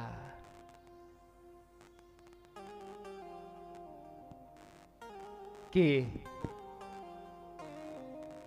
विद्यालयहरूमा गएर आत्माको ज्ञान प्राप्त हुन्छ? त्यहाँ कुकुरको बारेमा पढाइ हुन्छ? बिरालाको बारेमा पढाइ हुन्छ। सबै पशु पक्षी सबै संसारका सबै वस्तुहरूको बारेमा पढाइ हुन्छ तर त्यहाँ भगवानको बारेमा पढाइ छैन। आत्माको बारेमा पढाइ छैन। संस्कार जहाँ सिकाइँदैन जहाँ व्यक्तिले संस्कार सिकेको छैन जति धेरै पढेर पनि के काम लाग्यो है? जसले माता पिताको अगाडि झुक्न सक्दैन माता पितालाई सम्मान गर्न सक्दैन अहिलेको शिक्षाले माता पितालाई वृद्धाश्रममा पुर्याइदिएको छ सन्तानले अपहेलना गरेर। अहिलेको शिक्षाले केवल सङ्घर्ष गर्न केवल पैसा कमाउन केवल अर्कालाई देखाउनका लागि अरूभन्दा अझ धेरै उपलब्धिहरू पद र प्रतिष्ठाका लागि प्रतिस्पर्धा स्पर्धा गर्न सिकाएको छ तर अन्तर शान्ति दिने आनन्द र उमङ्गले भरिदिने संस्कार हराएको छ। हामीले सन्तानलाई दिनै पर्ने कुरा संस्कार थियो सम्पत्ति थिएन। सम्पत्ति त आफ्नो प्रारब्ध अनुसार पुरुषार्थ अनुसार स्वतः उसलाई प्राप्त हुन्छ। सम्पत्ति दिनुपर्ने चिज होइन दिनै पर्ने चिज संस्कार थियो। तर हामीले संस्कार छोडेर सम्पत्ति मात्रै दिन खोज्दा संस्कार गएको हुनाले त्यो भएको सम्पत्ति फेरि उसैलाई घातक बन्यो। पुत सपुत तो क्यों धन सञ्चय सज्जन छोरा भए सज्जन छोरी भए धन दिनु पर्दैन। खराब सन्तान भयो भने पनि धन दिएर केही अर्थ छैन। सञ्चय गरेर केही अर्थ छैन किनकि सकिहाल्छन् उतिखेरै। त्यसैले यो कुरा बुझौँ। व्यर्थै सम्पत्तिका पछाडि नपरी संस्कार देवो तिमी। सम्पत्तिको पछाडि नपरिकन संस्कार दिने। आरम्भ गरौँ। अहिले नेपालमा धेरैवटा विद्यालयहरूले अहिले पछुताएर नैतिक शिक्षा नपढाउँदाको अवस्था बुझेर म्याथ साइन्स इङ्ग्लिस पढेका छन् नेपाली सामाजिक पढेका छन् तर गुरुहरूलाई आदर गर्ने कुरा थाहा छैन। बोल्ने कसरी थाहा छैन। ह्युमिलिटी थाहा छैन। विनम्रता थाहा छैन। विद्यालयले धेरै कन्ट्रोल गर्न खोज्दा पनि बच्चाहरूका लगाइ खुवाइहरू उनीहरूका आचार विचारहरू स्कुल जाँदै गर्दाखेरि बच्चाहरूले चुरोट खाँदै गरेर गएका दृश्यहरू देखेको छु मैले साना बच्चाहरू। एउटा बच्चालाई सोधेको सबैभन्दा बढी तिमीलाई आनन्द कहाँ आउँछ बाबु? भनेको बाटोमा आउँछ भने उसले। किन राजा? भनेको घरमा बाबुमाले कचकच गर्छन् स्कुलमा जम्मै सरहरूले कचकच गर्छन् टिचरहरूले बाटोमा कसैको केही सुन्नु पर्दैन बडा आनन्द आउँछ अरे। कसरी बच्चाहरूलाई संस्कार सिकाउने हो? कसरी उनीहरूको जीवनलाई सुमार्गमा अभिप्रेरित गर्ने हो? यो कुरा अत्यन्त गहन विषय छ। मोबाइलको अत्यधिक उपयोगले गर्दा मानसिक रोगहरू अत्यन्त बढ्दै जाने भए। अहिले शारीरिक रोगहरू पनि मानस रोगहरू पनि मोबाइलको अत्यधिक प्रयोगको कारण यो हजुरहरूले डिजिटल फास्टिङ पनि सुरु गर्न पर्ने भयो हामी सबैले। सुत्नुभन्दा कम्तीमा दस बिस मिनट आधा घन्टा पहिले मोबाइललाई पर फालिदिइसक्नुहोस्। मेलाटोनिन भन्ने एउटा रसायन हाम्रो मस्तिष्कबाट निस्किएपछि बल्ल त्यो रसायनका कारण हामीलाई गहिरो निद लाग्छ। र त्यो रसायन जबसम्म चाहिँ इलेक्ट्रोनिक डिभाइसहरू ग्याजेट्सहरू चलाइरहन्छौँ नि तबसम्म त्यो मेलाटोनिनले हामीलाई उत्पन्न भएर निद्रातिर गर्दैन अभिप्रेरित गर्दैन। आधुनिक वैज्ञानिक दृष्टिकोणबाट पनि यसको उपयोगबाट अझै अँध्यारोमा मोबाइल हेर्ने बानीले त आँखा र मस्तिष्क दुवैलाई धेरै नै कमजोर गराउँछ।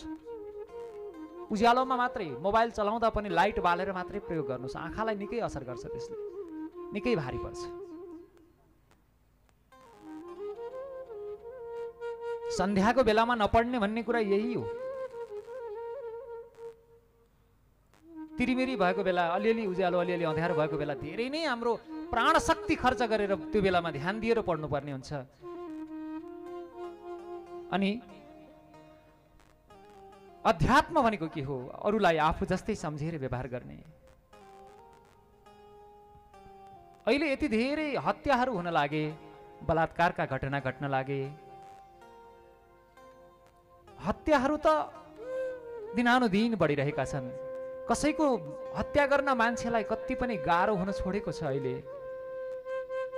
अत्यन्त समाजमा घृणा अहिंसा के अरे हिंसाका भावहरू बढिरहेका छन्। यो नैतिक शिक्षाको अभाव हो। हाम्रा सन्तानलाई संस्कार सिकाएको भए सानैदेखि राम्रो बाटो लगाएको भए पछि पछुताउनु पर्दैन थियो। ध्यान दिनुहोला सन्तानलाई दिनै पर्ने कुरा संस्कार हो। सम्पत्ति दिए पनि हुन्छ नदिए पनि हुन्छ।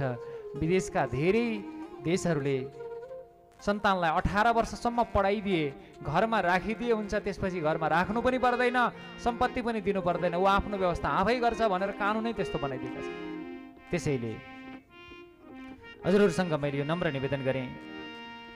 म अकार अक्षरहरूमा अकार हुँ समासहरूमा द्वन्द्व समास हुँ अक्षय काल पनि म हुँ। म विश्वतोमुख धाता पनि हुँ। धारण पोषण गर्नेवाला सबैतिर विराट स्वरूपमा धारण पोषण गर्नेवाला पनि म नै हुँ सबैलाई हरण गर्नेहरूमा मृत्यु हुँ सबैको उद्भव म हुँ। भविष्यमा हुनेवाला पनि म नै हुँ। नारीहरूमा देवीहरूमा कीर्ति श्री बाक स्मृति मेधा धृति क्षमा यी सब म हुँ। सामवेदमा पनि बृहत साम म हुँ। छन्दहरूमा गायत्री म हुँ। महिनाहरूमा मार्गशीर्ष मङ्सिर महिना म हुँ। र ऋतुहरूमा म बसन्त हुँ। छल गर्नेहरू छल गर्नेहरूमा जुवा म हुँ। एन्ड मेहनत नगरिकन लट्री परोस् मलाई भनेर यो परिश्रम बिनाको कमाई मलाई वर्षियोस् त्यसै आओस् भनेर सोच्नु पनि पाप हो। अब्राहम लिङ्कनले आफूलाई आफूले एउटा चिठी लेखेर आफ्नो छोरालाई पढाउने शिक्षकलाई पत्र पठाएका थिए र भनेका थिए मेरो छोरालाई अरू धेरै कुरा सिकाउन सके सक्नुहोस् सिकाउनुहोस् नसके नसिकाउनुहोस् तर एउटा कुरा चाहिँ सिकाइदिनु है। परिश्रमले कमाएको एक डलर सित्तैमा पाएको पाँच डलर भन्दा पनि मूल्यवान हुन्छ। यो कुरा मेरो छोराले सिकोस्। It is dignity to be failed then to be passed through cheating cheat चोरेर पास हुनुभन्दा फेल हुनुमा गौरव धेरै छ। मेरो छोराले यो कुरा सिकोस्। चिट चोरेर पास हुने प्रयास मेरो छोराले नगरोस्। यो सिकाइदिनुहोस्। यस्तो ज्ञान सिकाइदिनुहोस् भनेर अब्राहम लिङ्कनले भनेका थिए। सज्जनहरू जुवा समाजलाई भ्रष्ट गराउने कुरा हो। परिश्रमबाट विमुख गराएर मान्छेलाई आलसी बनाउने कुरा हो। परिश्रम बिना नै आशा गरेर भ्रष्ट बनाउने कुरा हो। त्यसैले जुवा समाजका लागि अभिशाप हो नसा समाजका लागि अभिशाप हो किनकि ऊर्जा चेतना सारा कुरा सम्पत्ति प्रतिष्ठा सबै कुरा नसाबाट समाप्त हुन्छ। नसा न भनेको हुँदैन सा भनेको शान्ति। शान्ति हुँदैन भनेपछि के हुन्छ? अशान्ति हुन्छ। त्यही हो नसा राधे राधे। अनि तेजस्वीहरूको तेज महु निश्चय गर्नेवाला व्यक्तिहरूको लाई प्राप्त हुनेवाला जो जय हो म त्यो जय पनि हुँ। जित्न चाहने व्यक्तिहरूको जय पनि म हुँ। सत्ववानहरूको सत्व पनि म हुँ। दमन गर्नेवालाहरूमा दण्ड म हुँ। दण्ड गर्ने शक्ति म हुँ। जित्ने इच्छाहरूमा नीति अब हेर्नुहोस् यी। नीति रश्मि जिगीषिताम जिगीषताम जिगीषताम जित्न चाहने जे तुम इच्छन्ति तेषाम इच्छताम जित्न चाहनेहरूमा म नीति हुँ नीतिहरूमा पनि रा नीतिहरूको पनि सबैभन्दा श्रेष्ठ नीतिलाई सबैभन्दा महान नीतिलाई राजनीति भनिन्छ नीति शब्दको अर्थ हो नयति अग्रम जसले हामीलाई अगाडि लैजान्छ। हाम्रो चेतनालाई अझ बढी विस्तार गरिदिन्छ। हाम्रो हृदयलाई अझ बढी व्यापक बनाइदिन्छ।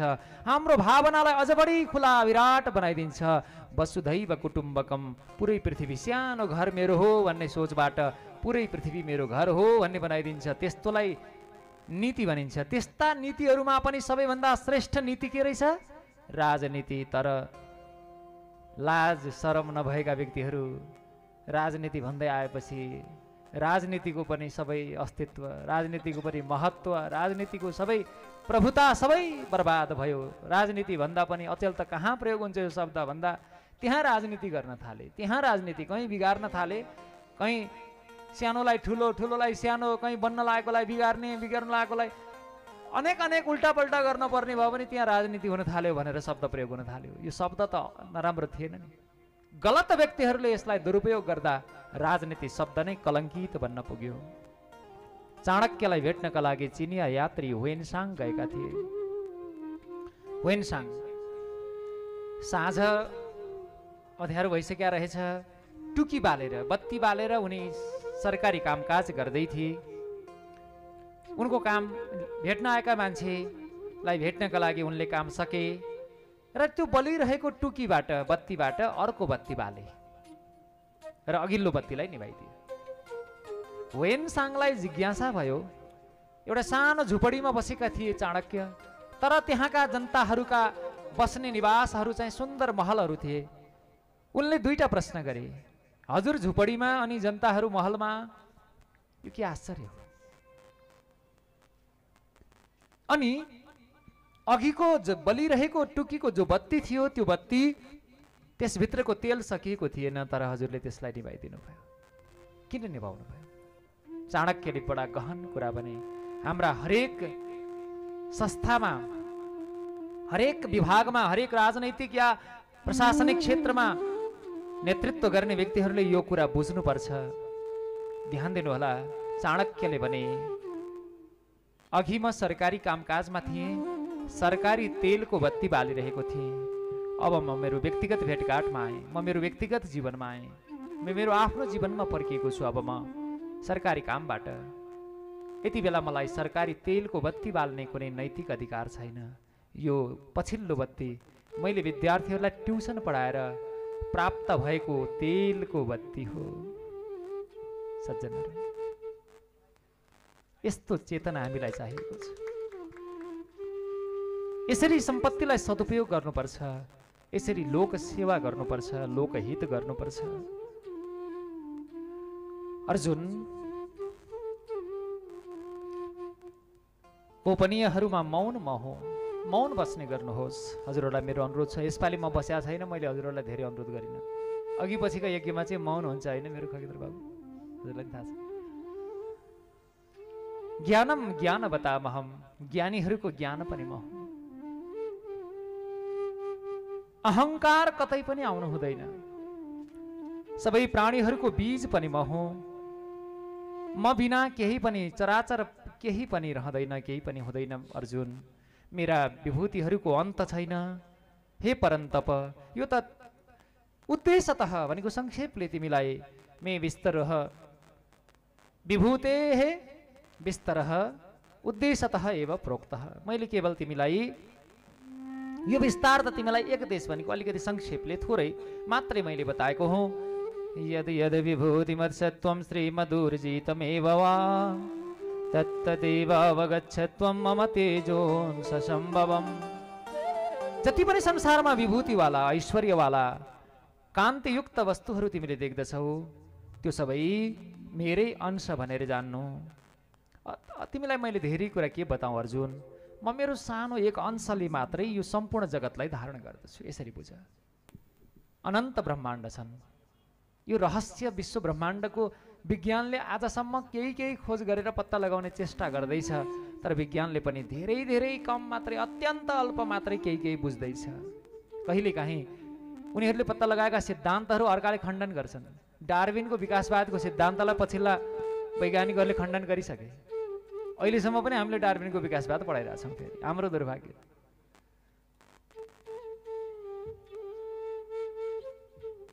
अनि भगवान् श्रीकृष्णलाई अर्जुनले सोधे मदनुग्रहाय परमम गुह्यमध्यात्म सञ्जितं यत्त्वयोक्तं वचस्तेन मोहोऽयं विगतो मम। मलाई अनुग्रह गरेर गोपनीय अध्यात्म विज्ञानले युक्त जो वाणी हजुरले भन्नुभयो त्यसबाट मेरो मोह गएको छ। हे प्रभु हजुरबाटै सम्पूर्ण प्राणीहरूको जन्म र मृत्यु उत्पत्ति र विनाश सबै कुरा हुन्छ भन्ने कुरा मैले सुनेको छु। उत्पत्ति र प्रलय सबै हजुरबाटै हुन्छ। हे कमल पत्र हे कमल पत्राक्ष हे कमल नयन हजुरको महात्म्यको अविनाशी महात्म्यको पनि मैले श्रवण गरिसकेँ। अब मैले सुनेर मात्र भएन। मलाई हजुरको तत्त्वको साक्षात्कार गर्ने इच्छा छ। औषधिको बारेमा सुनेर मात्रै हुन्छ कि? खानुपर्छ। खानुपर्छ कि पर्दैन?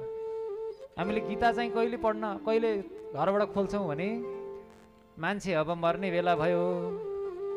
अब जान्छ जो भनेपछि अब यसले चाहिँ केही सुन्न पनि सक्दैन बुझ्न पनि सक्दैन भनेपछि पहिले जिन्दगीभरि यस्तै पहेँलो कपडाले बेरेर राखेर घरमा चाहिँ पूजा कोठामा लगेर अक्षता र चन्दन छर्किएर फुल छर्किएर पूजा गर्यो।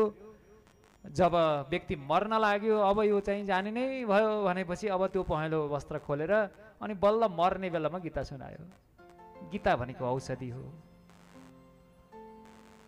रोग लाग्ने बित्तिकै औषधि खुवाएको भए सन्चो हुन्थ्यो। अब औषधिले पनि काम नगर्ने अवस्थामा त अब त्यो मन्त्र सुनाएर काम लाग्दैन। गीता आचरण गरेर चरित्रद्वारा जीवको कल्याण गर्ने परम सद्ग्रन्थ हो। त्यसैले गीतालाई हामीले यसको व्यवहारलाई यसको महत्त्वलाई बुझ्ने प्रयास गरौँ। अर्जुनले भगवान् श्रीकृष्णसँग भन्छन् हे प्रभु यदि द्रष्टुमिच्छामि ते रूपमैश्वरं पुरुषोत्तमा एवमेतद्यथार्थत्वमात्मानं परमेश्वर। हजुरले आफूलाई जस्तो भन्नुभएको छ त्यो ठिक छ। मैले सुनेर मैले स्वीकार गरेँ तर म देख्न चाहन्छु मलाई साक्षात्कार गर्ने इच्छा छ। मैले भनेर हजुरले देखाउनु पर्दैन प्रभु। यदि हजुरले कृपा गरेर मलाई देखाउन चाहनुहुन्छ भने मात्र देखाउनुहोस्। यदि हजुरले यस्तो सोच्नुहुन्छ कि तिमीले देख्न सक्छौ त्यो देख भन्ने लाग्छ भने मया तत् द्रष्टुम सक्यमिति त्वम मन्यसे चेत मैले त्यो देख्न सक्छु देखौँ भन्ने लाग्छ तिमीलाई भने मलाई देखाइदिनुहोस्। हे योगेश्वर हजुरले आफ्नो अविनाशी स्वरूपको मलाई दर्शन गराउनुहोस्। भगवान् श्रीकृष्ण गदगद हुनुभयो। मेरो अर्जुनले मेरो तत्त्वको साक्षात्कार गर्न खोजेको छ। खोजेका छन्। भगवान्ले भन्नुहुन्छ हे पार्थ हे अर्जुन मेरा नाना प्रकारका नाना वर्णवाला नाना विधानि दिव्यानि नाना वर्णाकृति निज अद्भुत स्वरूप छ। तिमीले हेर म तिमीलाई देखाइदिन्छु। आदित्यहरू रुद्रहरू वसुहरू अश्विनी कुमारहरू मरुदगणहरू जसलाई तिमीले पहिले कहिल्यै देखेका छैनौ मेरो आश्चर्य आश्चर्यले युक्त त्यो स्वरूपलाई तिमीले देख हे भारत। मेरो एउटै शरीरभित्र सम्पूर्ण जगत सम्पूर्ण चराचर प्राणीहरूलाई देख तिमीले। अरू पनि के देख्न चाहन्छौ तिम्रो इच्छा अनुसार हेर। तर तिमीले मलाई देख्न सक्दैनौ मेरो शरीरमै सबै छ। भएर पनि तिमीले देख्न सक्दैनौ नित्य छ देख्न सक्दैनौ त्यसैले म तिमीलाई देख्ने थर्ड आई तेस्रो आँखा म तिमीलाई दिन्छु। रूपन्देही तिलोत्तमाबाट उमा दिदी आउनु भएको छ उमा ढकाल दिदी। स्वागत छ। न तु मां शक्यसे द्रष्टुमनेनैव स्वचक्षुषा। दिव्यं ददामि ते चक्षुः पश्य मे मलाई यिनै चर्म चक्षुले देख्न सम्भव छैन अर्जुन। त्यसैले म तिमीलाई दिव्य ज्ञान दिन्छु दिव्य नेत्र दिन्छु। जुन दिव्य नेत्रले युक्त भएर तिमीले मलाई मेरो ऐश्वर्यलाई देख्न सक्नेछौ। सञ्जयले भन्नुहुन्छ धृतराष्ट्रलाई एवमुक्त्वा ततो राजन्मः योगेश्वरो हरिः दर्शयामास पार्थाय परमं रूपमैश्वरम्। यस प्रकार भगवानले दिव्य दृष्टि दिनुभयो सर्वप्रथम। देख्न सक्ने सामर्थ्य दिनुभयो। तेरी मेहरबानी का हे बोझ इतना जिसे मैं चुकाने के काबिल नहीं। जति प्रभुको कृपाले हामीलाई प्राप्त भएको छ त्यो नै कम छैन। जितना दिया है वही कम नहीं है। अरू माग्ने त झन् कुरै छैन त्यसैको आभार व्यक्त गर्ने अर्जुनलाई भगवानले दिव्य दृष्टि दिनुभयो दिव्य दृष्टि दिएपछि भन्नुभयो अर्जुन अब तिमीले मेरो स्वरूपलाई हेर। आफ्नो परम ऐश्वर्यमय स्वरूप देखाइदिनु भयो। अनेक नेत्रहरू छन् अनेक मुखहरू छन् अनेक अद्भुत दर्शन छ दिव्य आभूषणहरूले युक्त अनेक आयुधहरूले सुसज्जित दिव्य मालालाई धारण गरेको दिव्य गन्धानुलेपन गरिएको आश्चर्यमय त्यो देवको स्वरूपलाई विश्वतोमुख विराट स्वरूपलाई देख्न लागे अनेक मुख र नयन अनेक अद्भुत दर्शन यस्तो स्वरूपलाई भगवानको देखे उनले मानौ एकैचोटि हजारौं सूर्यहरू आकाशमा प्रकट भएका हुन् त्यस्तै प्रकाश त्यो महात्माको चारैतिर छ त्यो एउटै शरीरमा सम्पूर्ण जगतको दर्शन भएको छ पाण्डव अर्जुनले त्यो दर्शन गर्न लागे। त्यसपछि विस्मय अविष्ट भएर हृष्ट रोम भएर धनञ्जयले शिरमा हात राखेर भगवान्लाई कृताञ्जली हात जोडेर प्रणाम गर्न लागे र उनले स्तुति गर्न लागे। हे देव हे कृष्ण म हजुरको शरीरमा सम्पूर्ण प्राणी समुदायलाई देख्दैछु ब्रह्मालाई देख्दैछु शिवजीलाई देख्दैछु। कमल कमलासनस्थ भगवान् ब्रह्मालाई देख्दैछु। म ऋषिहरूलाई देख्दैछु सबै सर्पहरूलाई देख्दैछु। दिव्य अनेक बाहु उदर वक्त्र मुख नेत्र सबै अनन्त स्वरूप भएका हे प्रभु हजुरको अन्त छैन हजुरको मध्य छैन हजुरको आदि पनि छैन कसरी आदि हुन्थ्यो?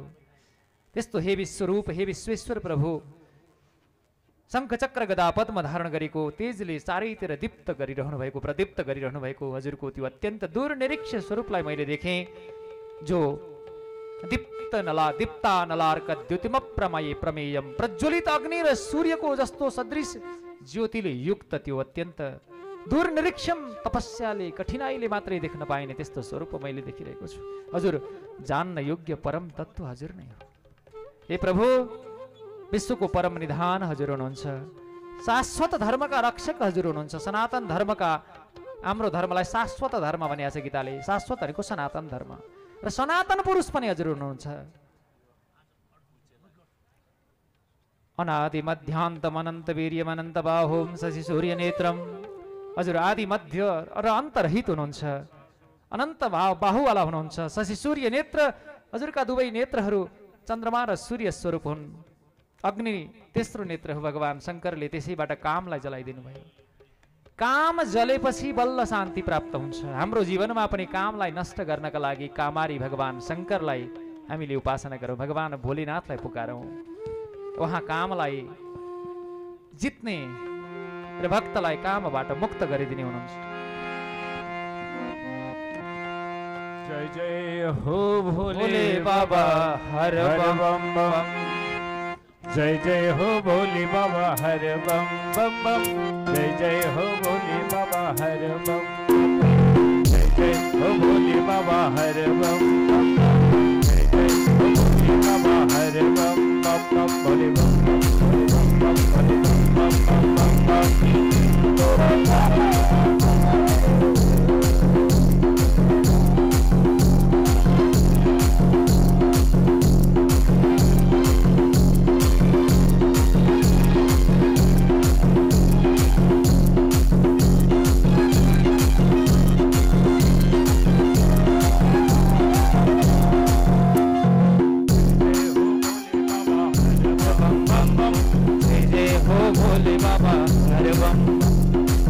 जय हो भोले बाबा, हर बम बम। जय जय हो भोले बाबा, हर बम बम।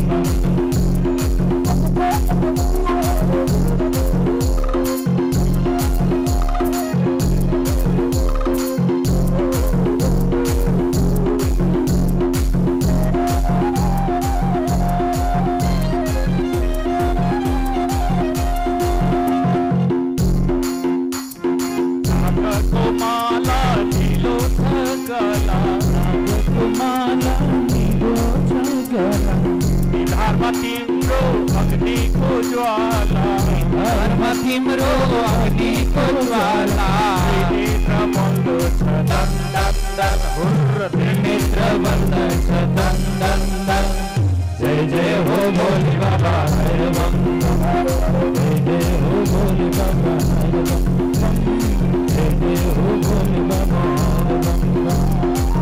बम बम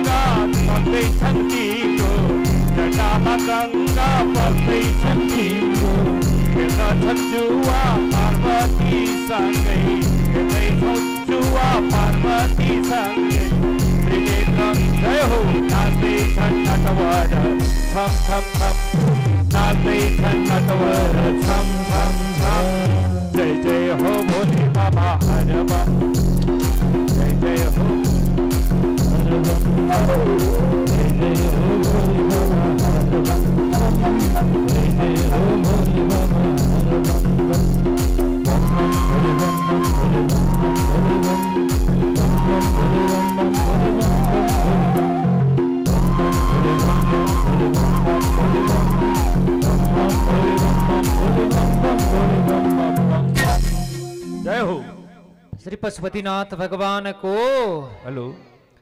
यहाँ गायिका सङ्गीता पौडेलज्यू पनि आउनुभएको छ। उहाँले पनि अहिले पछि एउटा भजन सुनाउनु हुनेछ। यहाँहरूलाई म जानकारी गराउँदछु। अर्जुनले भगवान् श्रीकृष्णको दिव्य विराट स्वरूपको साक्षात्कार गरेर प्रभुको स्तुति गर्दैछन्। हाम्रो जीवनमा त्यो क्षण कहिले आउला? जब हामी आत्म साक्षात्कार गरेर धन्य हुनेछौँ। गौतम बुद्धलाई त्यो तत्त्वको साक्षात्कार गर्न कति वर्ष लाग्यो? उन्तिस वर्षका हुँदा घरबाट निस्किएका थिए। उनी पैँतिस वर्षका हुँदा उनलाई तत्त्वबोध प्राप्त भयो। छ वर्ष लाग्यो। वैभव सबै थियो। त्यो राज्यका उत्तराधिकारी थिए राजा बन्न पाउने व्यक्ति थिए तर उनलाई त्यो सबै वैभवले पोल्यो। किनकि एक दिन छोडेर जानुपर्छ। एक दिन वृद्ध हुनुपर्छ एक दिन रोगी हुनुपर्छ। यो पाशुपत क्षेत्रमा निरन्तर व्यक्तिहरूका लास शरीरहरू जलिरहेका छन्। आफन्तजनहरू शोकमा डुबिरहेका छन्। नजिकै विद्युतीय सा शबदाह गृह छ। बिजुलीले एकैछिनमा शरीरलाई भस्म गराइदिन्छ खरानी बनाइदिन्छ। माथितिर धुवा निस्किँदै गरेको मुस्लो देखिन्छ। हामी अहङ्कार गर्छौँ केका लागि। जीवनको लक्ष्य थाहा नपाएर भट्किएका छौँ कता कता। हामीले हाम्रो जीवनको लक्ष्यलाई पहिचान गरौँ। र आत्म साक्षात्कार गरेर जीवनलाई धन्य बनाउने बाटोमा हामी अगाडि बढौँ। अर्जुनले भगवान श्रीकृष्णको स्तुति गर्दैछन्। हि व्याप्तम सर्वा पृथ्वी अन्तरिक्ष सबै दिशालाई हजुरले व्याप्त गरेर रहनु भएको छ। दृष्टवादभूतम रूपम उग्रम तवेदम लोकत्रयम प्रव्यथितम महात्मन। हे महात्मन हजुरको उग्र स्वरूपलाई अद्भुत स्वरूपलाई देखेर सम्पूर्ण जगत प्रकम्पित भएको छ। यी सूर्यगणहरू पनि हजुरमा प्रविष्ट भएका छन्। केही डराएका छन् कसैले हात जोडिरहेका छन् कसैले स्वस्ति स्वस्ति जय होस् जय होस् भनेका छन् महर्षिहरूको समुदायले कसैले अनेक अनेक स्तोत्रद्वारा हजुरको स्तुति गरिरहेका छन्। रुद्रादित्य वसवो ये च साध्या। विश्वेस्मिनौ मरुतस्तोष्म पाश्च गन्धर्वयक्षासुर सिद्ध सङ्गा वीक्षन्ति त्वां विस्मिताश्चैव सर्वे। रुद्रादित्य वस वसुहरू साध्य गणहरू विश्व विश्व देवहरू अश्विनी कुमारहरू उनपचास मरुदगणहरू उष्म पाहा पितृहरू गन्धर्व यक्ष असुर सिद्धहरूको समुदाय सबैले विस्मित भएर विक हजुरलाई हेरिरहेका छन्। त्वाम विस्मिताः वीक्षन्ते। हे नाथ हे प्रभु हजुरको धेरै वक्त्र र नेत्र भएको महत् स्वरूपलाई देखेर रूपलाई देखेर धेरै चरण र करहरू भएको सुन्दर स्वरूपलाई देखेर बहुउदर र द्रष्टा भएको दारा भएको स्वरूपलाई देखेर सम्पूर्ण लोक प्रव्यथित भएको छ। आकाशलाई छुने विशाल दीप्तिमान त्यो विशाल नेत्र भएका प्रभु विशाल मुख भएका विशाल नेत्र भएका प्रभु दृष्ट्वा हित्वाम प्रव्यथितान्तरात्मा धृतिम न विन्दामे समम च विष्णु। हजुरको यो विराट विकराल स्वरूपलाई देखेर मेरो त मनको शान्ति पनि हरायो धैर्य पनि हरायो। एक केशव मैले अहिले दिशा पनि बिर्सिसकेँ। कहिले कहिले दिग्भ्रम हुन्छ नि हामीलाई होइन? कुनै नयाँ ठाउँमा जाँदा पूर्व पश्चिम कता हो भन्ने कुरा थाहा हुँदैन। सूर्यलाई हेरेर छायालाई हेरेर कम्पासलाई हेरेर हामीले दिग निश्चय गर्ने गर्दछौँ। हे केशव दिशो नजाने नलभी च शर्म। मलाई अहिले दिग्भ्रम भएको छ। मलाई शान्ति छैन। हे जगन्निवास हजुर प्रसन्न भइदिनुहोस्। यी धृतराष्ट्रका छोराहरू धृतराष्ट्रको पक्षमा लड्नेहरू सबै राजासँगै भीष्म पितामह पनि द्रोणाचार्य पनि कर्ण पनि सबै सबै प्रमुख योद्धाहरू सबै हजुरको मुखमा पसिरहेका छन्। कसै कोही हजुरको त्यो दारामा अल्झिरहेका छन् दाँतले पिसिरहेका छन् केही दाँतमा अड्किएका छन्। दशनान्तरेषु केचित विलग्ना। केही त चूर्ण भए टुक्रा टुक्रा परेका छन्। मैले त्यस्तो दृश्य देखिरहेको छु। जसरी सम्पूर्ण नदीहरूको वेग अन्तमा समुद्रतिरै समुद्रमै पुग्दछ त्यसैले सबै प्राणीहरू पनि अन्तमा हजुरमै प्रवेश गरिरहेका छन्। जसरी जलिरहेको अग्निमा पुतली आएर आफ्नो नाशका लागि बेगले आएर पतङ्गहरू आएर प्रविष्ट गर्दछन् त्यसैले त्यसै गरी नै सम्पूर्ण लोक सम्पूर्ण प्राणीहरू हजुरमा आएर प्रविष्ट भइरहेका छन्। हजुरले त लेली हेसे ग्रसमान सबैलाई चाट्दै हुनुहुन्छ सबैलाई ग्रास शिवका रूपमा रुद्रका रूपमा संहार गर्दै हुनुहुन्छ। समन्तात समस्त प्रकारले चारैतिरबाट लोकान समग्रान वदनैरे ज्वलद्विही यो संसार विनाश हुन्छ भन्ने कुराको बोध भयो भने मान्छेले गलत कर्म गर्दैन। कि भगवान्लाई सम्झिनु कि मृत्युलाई सम्झिनु एउटा कुरालाई याद गरे पनि व्यक्ति सत्कर्ममा लागिरहन्छ। ए केशव तेजोभिरापूर्य जगत समग्रम भारस भाषस्तबोग्रा प्रतपन्ति विष्णु। हो हजुरले सबैलाई प्रतप्त बनाउनु भएको छ। ए प्रभु मलाई बताउनुहोस् कि यो उग्र स्वरूप हजुर को हो? भगवान उग्र रूप कहाँ अस्ति? मे आख्या हि। नमोस्तु ते देव वर प्रसिद्ध हे देव वर हजुर मसँग प्रसन्न भइदिनुहोस्। म जान्न चाहन्छु विज्ञात इच्छामि। भवन्तम आद्यम नहि प्रजानामि। तब प्रवृत्तिम के गर्न खोजेको हो? किन मलाई यो स्वरूप देखाएको हो? मैले बुझ्न सकिनँ प्रभु। मलाई बताइदिनुहोस्। अब भगवान्ले भन्नुभयो यो श्लोक हामीलाई कण्ठ छैन तर अमेरिकाका आणविक ऊर्जाका पिता Julius R Oppenheimer Juliet Julius Robert open हाइमरलाई यो श्लोक कण्ठ थियो अबको बत्तिस नम्बरको श्लोक। उनले बोलेको बाणी हजुरहरूले युट्युबमा सुन्न सक्नुहुन्छ। गीताको महत्त्वको बारेमा उनले बताएका छन्। श्री भगवान उवाच कालोऽस्मि लोकक्षयकृत प्रवृद्धो लोकान् समाहर्तुमिह प्रवृत्तः। ऋतेऽपि त्वां न भविष्यन्ति सर्वे एव स्थिताः प्रत्यनिकेषु योधाः। यो श्लोक अमेरिकाका ती कति साइन्टिस्टलाई वैज्ञानिकलाई पनि कण्ठ छ। भनेको के हो? हामीले त सुनेर पनि बुझेन होला बुझ्यौ त? अहम लोकक्षयकृत प्रवृत्त काल अस्मि।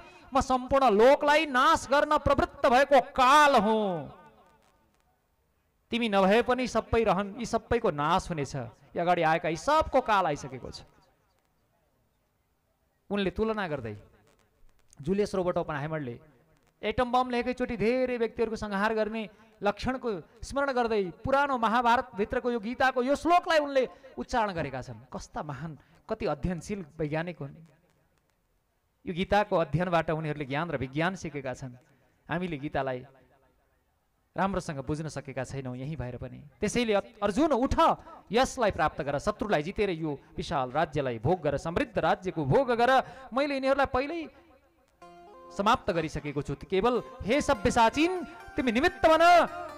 हेर्नुहोस् दायाँ हातले मात्रै बाण चलाउन सक्ने हुन्छन् केही। केही दुवै हातले चलाउन सक्ने हुन्छन् केही दाहिनेले लेख्न सक्ने हुन्छन् केही देब्रेले मात्रै हुन्छन् कोही कोही हुन्छन् दुइटैले लेख्न सक्ने। केहीले दायाँले सङ्गीतको अभ्यास गर्छन् केहीले बायाँले केही हुन्छन् त्यस्ता जो दुइटैले गर्छन्। किबोर्डमा दुइटै हातको प्रयोग गरिन्छ। हाम्रो मिलनजीले चलाउँदै हुनुहुन्छ। आदरणीय माधव गुरुले चलाउँदै गरेको हार्मोनियम। अनि सभ्य साचिन बायाँ हातले पनि धनुषलाई उत्तिकै शक्तिशाली तरिकाले सन्धान गर्न सक्ने प्रहार गर्न सक्ने अर्जुनलाई भगवान्ले भन्नुहुन्छ तिमी निमित्त बन सत्कर्ममा निमित्त बन अर्जुन। द्रोण भीष्म जयद्रथ कर्ण अरू सबै योद्धाहरू सबैलाई मैले समाप्त गरिसकेको छु। तिमीले त मैले आ सबै समाप्त गरिसकेका उनीहरूलाई केवल ढलाइदेऊ मात्रै। शत्रुहरूलाई जितेर तिमीले।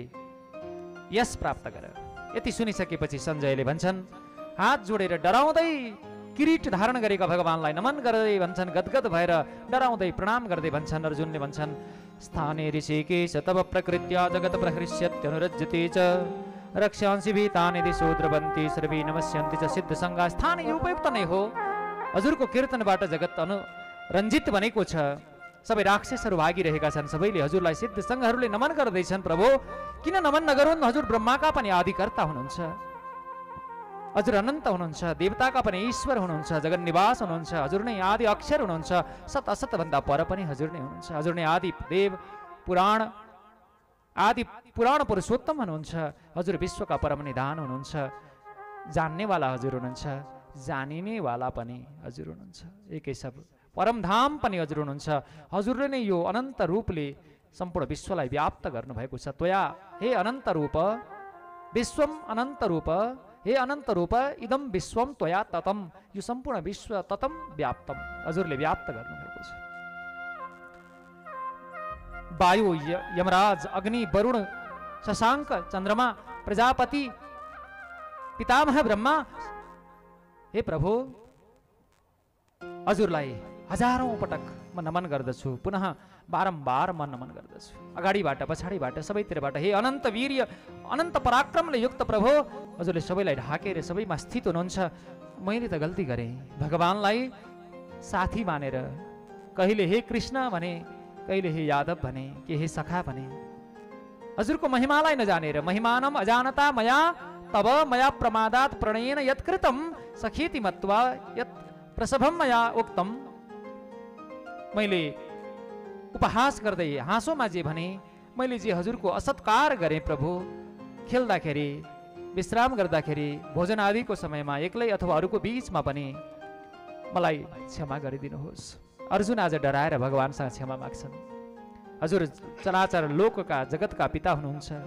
हजुर नै पूज्य गुरु हुनुहुन्छ गरियान श्रेष्ठ हुनुहुन्छ। हजुर समान त कोही छैन भने हजुरभन्दा श्रेष्ठ त झन् अरू को छ? अप्रतिम प्रभाववाला तिनै लोकमा अप्रतिम प्रभाववाला अतुलनीय प्रभाववाला हजुर नै हुनुहुन्छ। त्यसैले यो शरीरलाई हजुरका हजुरमा समर्पित गरेर हजुरलाई म प्रसन्न बनाउन चाहन्छु। हे इड्य हे स्तुति योग्य प्रभु हजुरलाई म नमन गर्दछु। पिताले छोरालाई मित्रले आफ्नो साथीलाई पतिले पत्नीलाई अथवा पत्नीले पतिलाई जसरी प्रेम गर्छन् सहन्छन् हे देव त्यसै गरी हजुरले मलाई पनि सही दिनुहोस्। मैले हजुरको यो कहिल्यै नदेखेको यो स्वरूपलाई देखेर म हृषित भएको छु। म भयले मेरो मन व्यथित भएको छ। मलाई त्यसैले त्यही स्वरूप देखाइदिनुहोस् हे जगन निवास शङ्ख चक्र धारण गरेको त्यो स्वरूप देख्न चाहन्छु। चतुर्भुज स्वरूप हे सहस्रबाहो। अब हजुर हे विश्वमूर्ति हे विराट स्वरूप प्रभु म चतुर्भुज स्वरूपमा हजुरको दर्शन गर्न चाहन्छु। श्री भगवान्ले भन्नुहुन्छ म प्रसन्न भएर हे अर्जुन तिमीलाई यो परम आत्मयोगद्वारा तिमीलाई मेरो स्वरूपको दर्शन गराएको छु। यो तेजोमय स्वरूप यो अनन्त अनादि स्वरूप मैले तिमीलाई देखाएँ देखाएँ। यो यो आजसम्म अरू कसैलाई देखाएको छैन। यो वेद यज्ञ अध्ययन दान अनेक कर्महरू र उग्र तपले मात्र पनि यो देख्न सकिँदैन। तिमीले बाहेक अरू कसैले अहिलेसम्म देखेको पनि छैन। तिमीले त्यसैले विमूढ भावलाई प्राप्त नबन। अर्जुन यो घोर स्वरूपलाई देखेर तिमी नडराओ तिम्रो डर समाप्त होस् तिमी फेरि प्रसन्न बन। तब तत्एव मे रूपम इदम प्रपश्य तिमीले अब त्यही शान्त स्वरूपलाई हेर भगवान्ले अब आफ्नो चतुर्भुज स्वरूप देखाउनु भयो।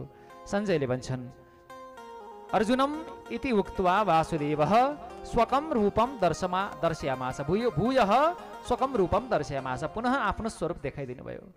आश्वासयामास च भीतमेनं भूत्वा पुनः सौम्य वपुर्महात्मा आश्वासित गर्दै आश्वासन दिँदै डर हटाएर सौम्य स्वरूप भएर मुसुक्क मुस्कुराएर प्रभुले अर्जुनलाई दर्शन दिनुभयो। विराट स्वरूप भगवानको। श्री लक्ष्मी नारायण भगवानको। श्री राधा सर्वेश्वर भगवानको। अब चतुर्भुज स्वरूप देखेपछि अर्जुनको मन शान्त भयो। अर्जुनले भन्छन् दृष्ट्वेदं मानुषं रूपं तव सौम्यं जनार्दन। इदानीमस्मि संवृत्तः स- सचेताः प्रकृतिं गतः। अब हजुरको चतुर्भुज स्वरूपलाई देखेपछि म स्वरूपलाई आफ्नो शान्त स्वभावलाई प्राप्त भएको छु म सौम्य स्वरूप हजुरलाई मानुष रूपमा देखेर म आफ्नो प्रकृतिमा फर्किएको छु केशव। भगवान्ले भन्नुहुन्छ अर्जुन देख्न त देख्यौ तिमीले मेरो यो स्वरूप तर सुदुर्दर्शमिदं रूपं दृष्टवानसि यन् मम देवा अप्यस्य रूपस्य नित्यं दर्शनकाङ्क्षिणः। मेरो यो स्वरूप सुदूर दर्शन अत्यन्त दुर्लभ दर्शन हो जो देखेका छौ देवता पनि यो दर्शन गर्न लालायित रहिरहन्छन्। वेदद्वारा तपस्याद्वारा दानद्वारा यज्ञद्वारा यसरी मलाई देख्न सकिँदैन जसरी तिमीले देखेका छौ। केवल अनन्य भक्तिद्वारा भक्त्या त्वनन्यया शक्य विदोर्जुन च तत्त्वेन च परन्तप। अनन्य भक्तिद्वारा मात्रै मेरो तत्त्वलाई देख्न ज्ञा जान्न र तत्त्वले मेरो लीलामा प्रविष्ट हुन सकिन्छ अर्जुन। मेरो लागि कर्म गर्नेवाला बन ममा परायण बन मेरो भक्त बन आसक्तिलाई त्यागिदेऊ सबै प्राणीहरू कसैसँग वैरभाव नराख यस प्रकारको भावना जोसँग छ उसले मलाई प्राप्त गर्दछ। यस प्रकार एघार अध्याय पनि समाप्त भएको छ सज्जनहरू। यो पवित्र एघार अध्याय विश्वरूप दर्शन योग नामक अध्याय हो। भगवान् श्रीकृष्णले पहिले विराट स्वरूपको दर्शन गराउनुभयो। विराट स्वरूपको दर्शन गराएपछि अर्जुन डराएपछि अर्जुनलाई शान्त गर्नका लागि चतुर्भुज स्वरूप पनि देखाउनु भयो चतुर्भुज स्वरूपपछि फेरि भगवान् सौम्य रूपमा द्विभुज स्वरूपमा आउनुभयो। भक्तवत्सल भगवानको। श्री राष्ट्रदेव पशुपतिनाथ भगवानको। यो पवित्र महायज्ञ दिन दुखी असहाय गरिबजनहरूको निशुल्क उपचारको पवित्र लक्ष्य लिएर आयोजित भएको हो। यो पवित्र अनुष्ठानमा हाम्रा यस यज्ञका पुरोधाहरू यज्ञका सक्रिय आदरणीय सदस्यहरू हाम्रा डाक्टरहरू निरन्तर लागिरहनु भएको छ खेमराजी यता आउनुहोस् त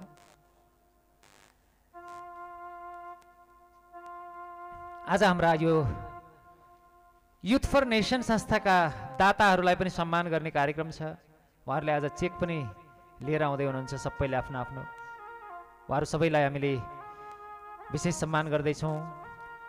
हिजो मात्रै नेपाल चेम्बर अफ कमर्सबाट रु पाँच लाखको सहयोगको चेक लिएर आउनुभएको थियो।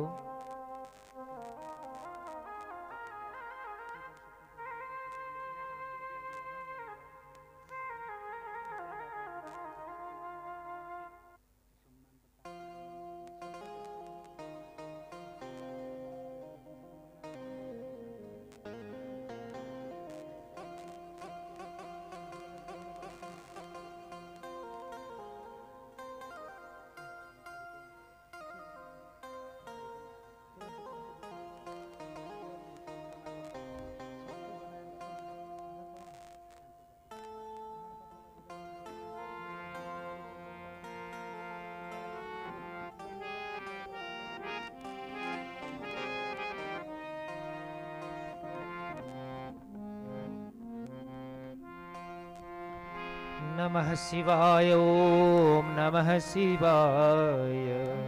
हर हर भोले नमः शिवाय नमः शिवाय नमः शिवाय।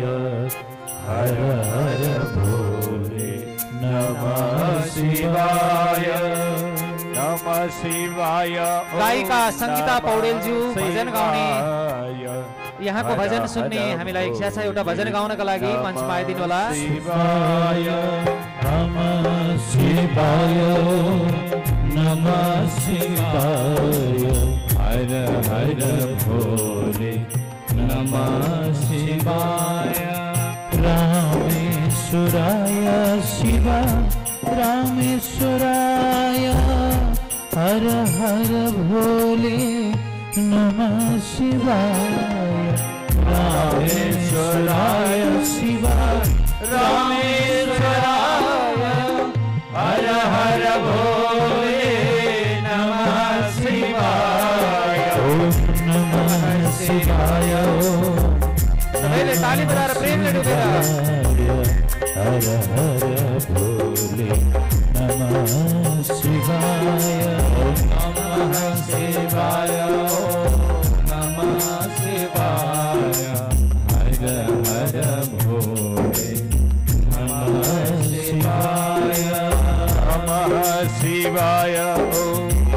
नमः शिवाय हर हर भोले नमः शिवाय हर हर भोले नमः शिवाय हर हर भोले नमः शिवाय श्री राष्ट्रदेव पशुपतिनाथ भगवानको हामी एउटा भजन सुन्दैछौँ। आदरणीय गायिका सङ्गीता पौडेलज्यूबाट।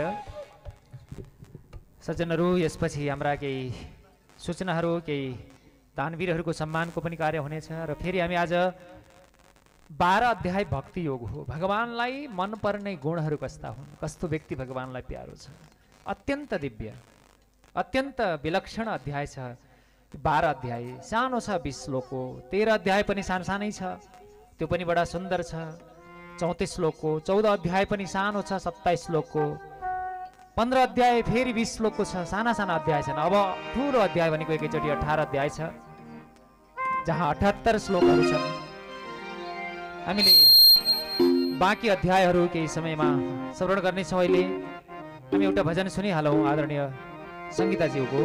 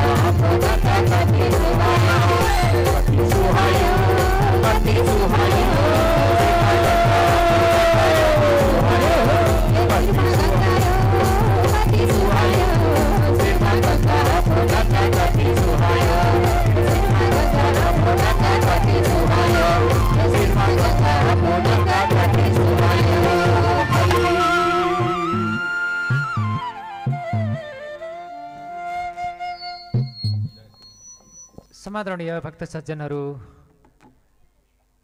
यो पवित्र अनुष्ठान दिन दुखीहरूको सेवाका लागि हो असहाय जनहरूको सहायताका लागि हो यसको उद्देश्य अत्यन्त पवित्र छ यसको उद्देश्य सेवार्थ यो कार्यक्रमको आयोजना गरिएको छ यस्तो पवित्र अनुष्ठानमा सहभागी हुनु यसको एउटा अङ्ग बन्नु हामी सबैको सौभाग्य हो यस अनुष्ठानमा धेरै व्यक्तिहरूले विभिन्न प्रकारले साथ र सहयोग गरिरहनु भएको छ। हामी सम्पूर्ण सहयोगी उदार मना व्यक्तिहरूलाई हार्दिक नमन गर्दछौँ हार्दिक सम्मान गर्दछौँ। सज्जनहरू आउनुहोस्। हाम्रो डाक्टर निकोलस भुषाल म एकचोटि हजुरलाई मञ्चमा निम्त्याउँछु। आज आउनुभएका विशिष्ट पाहुनाहरूलाई अनि आजका सम्पूर्ण समुपस्थित व्यक्तिहरूलाई यसो हजुरले स्वागत सम्मान गरिदिनुहोस् केही शब्दले।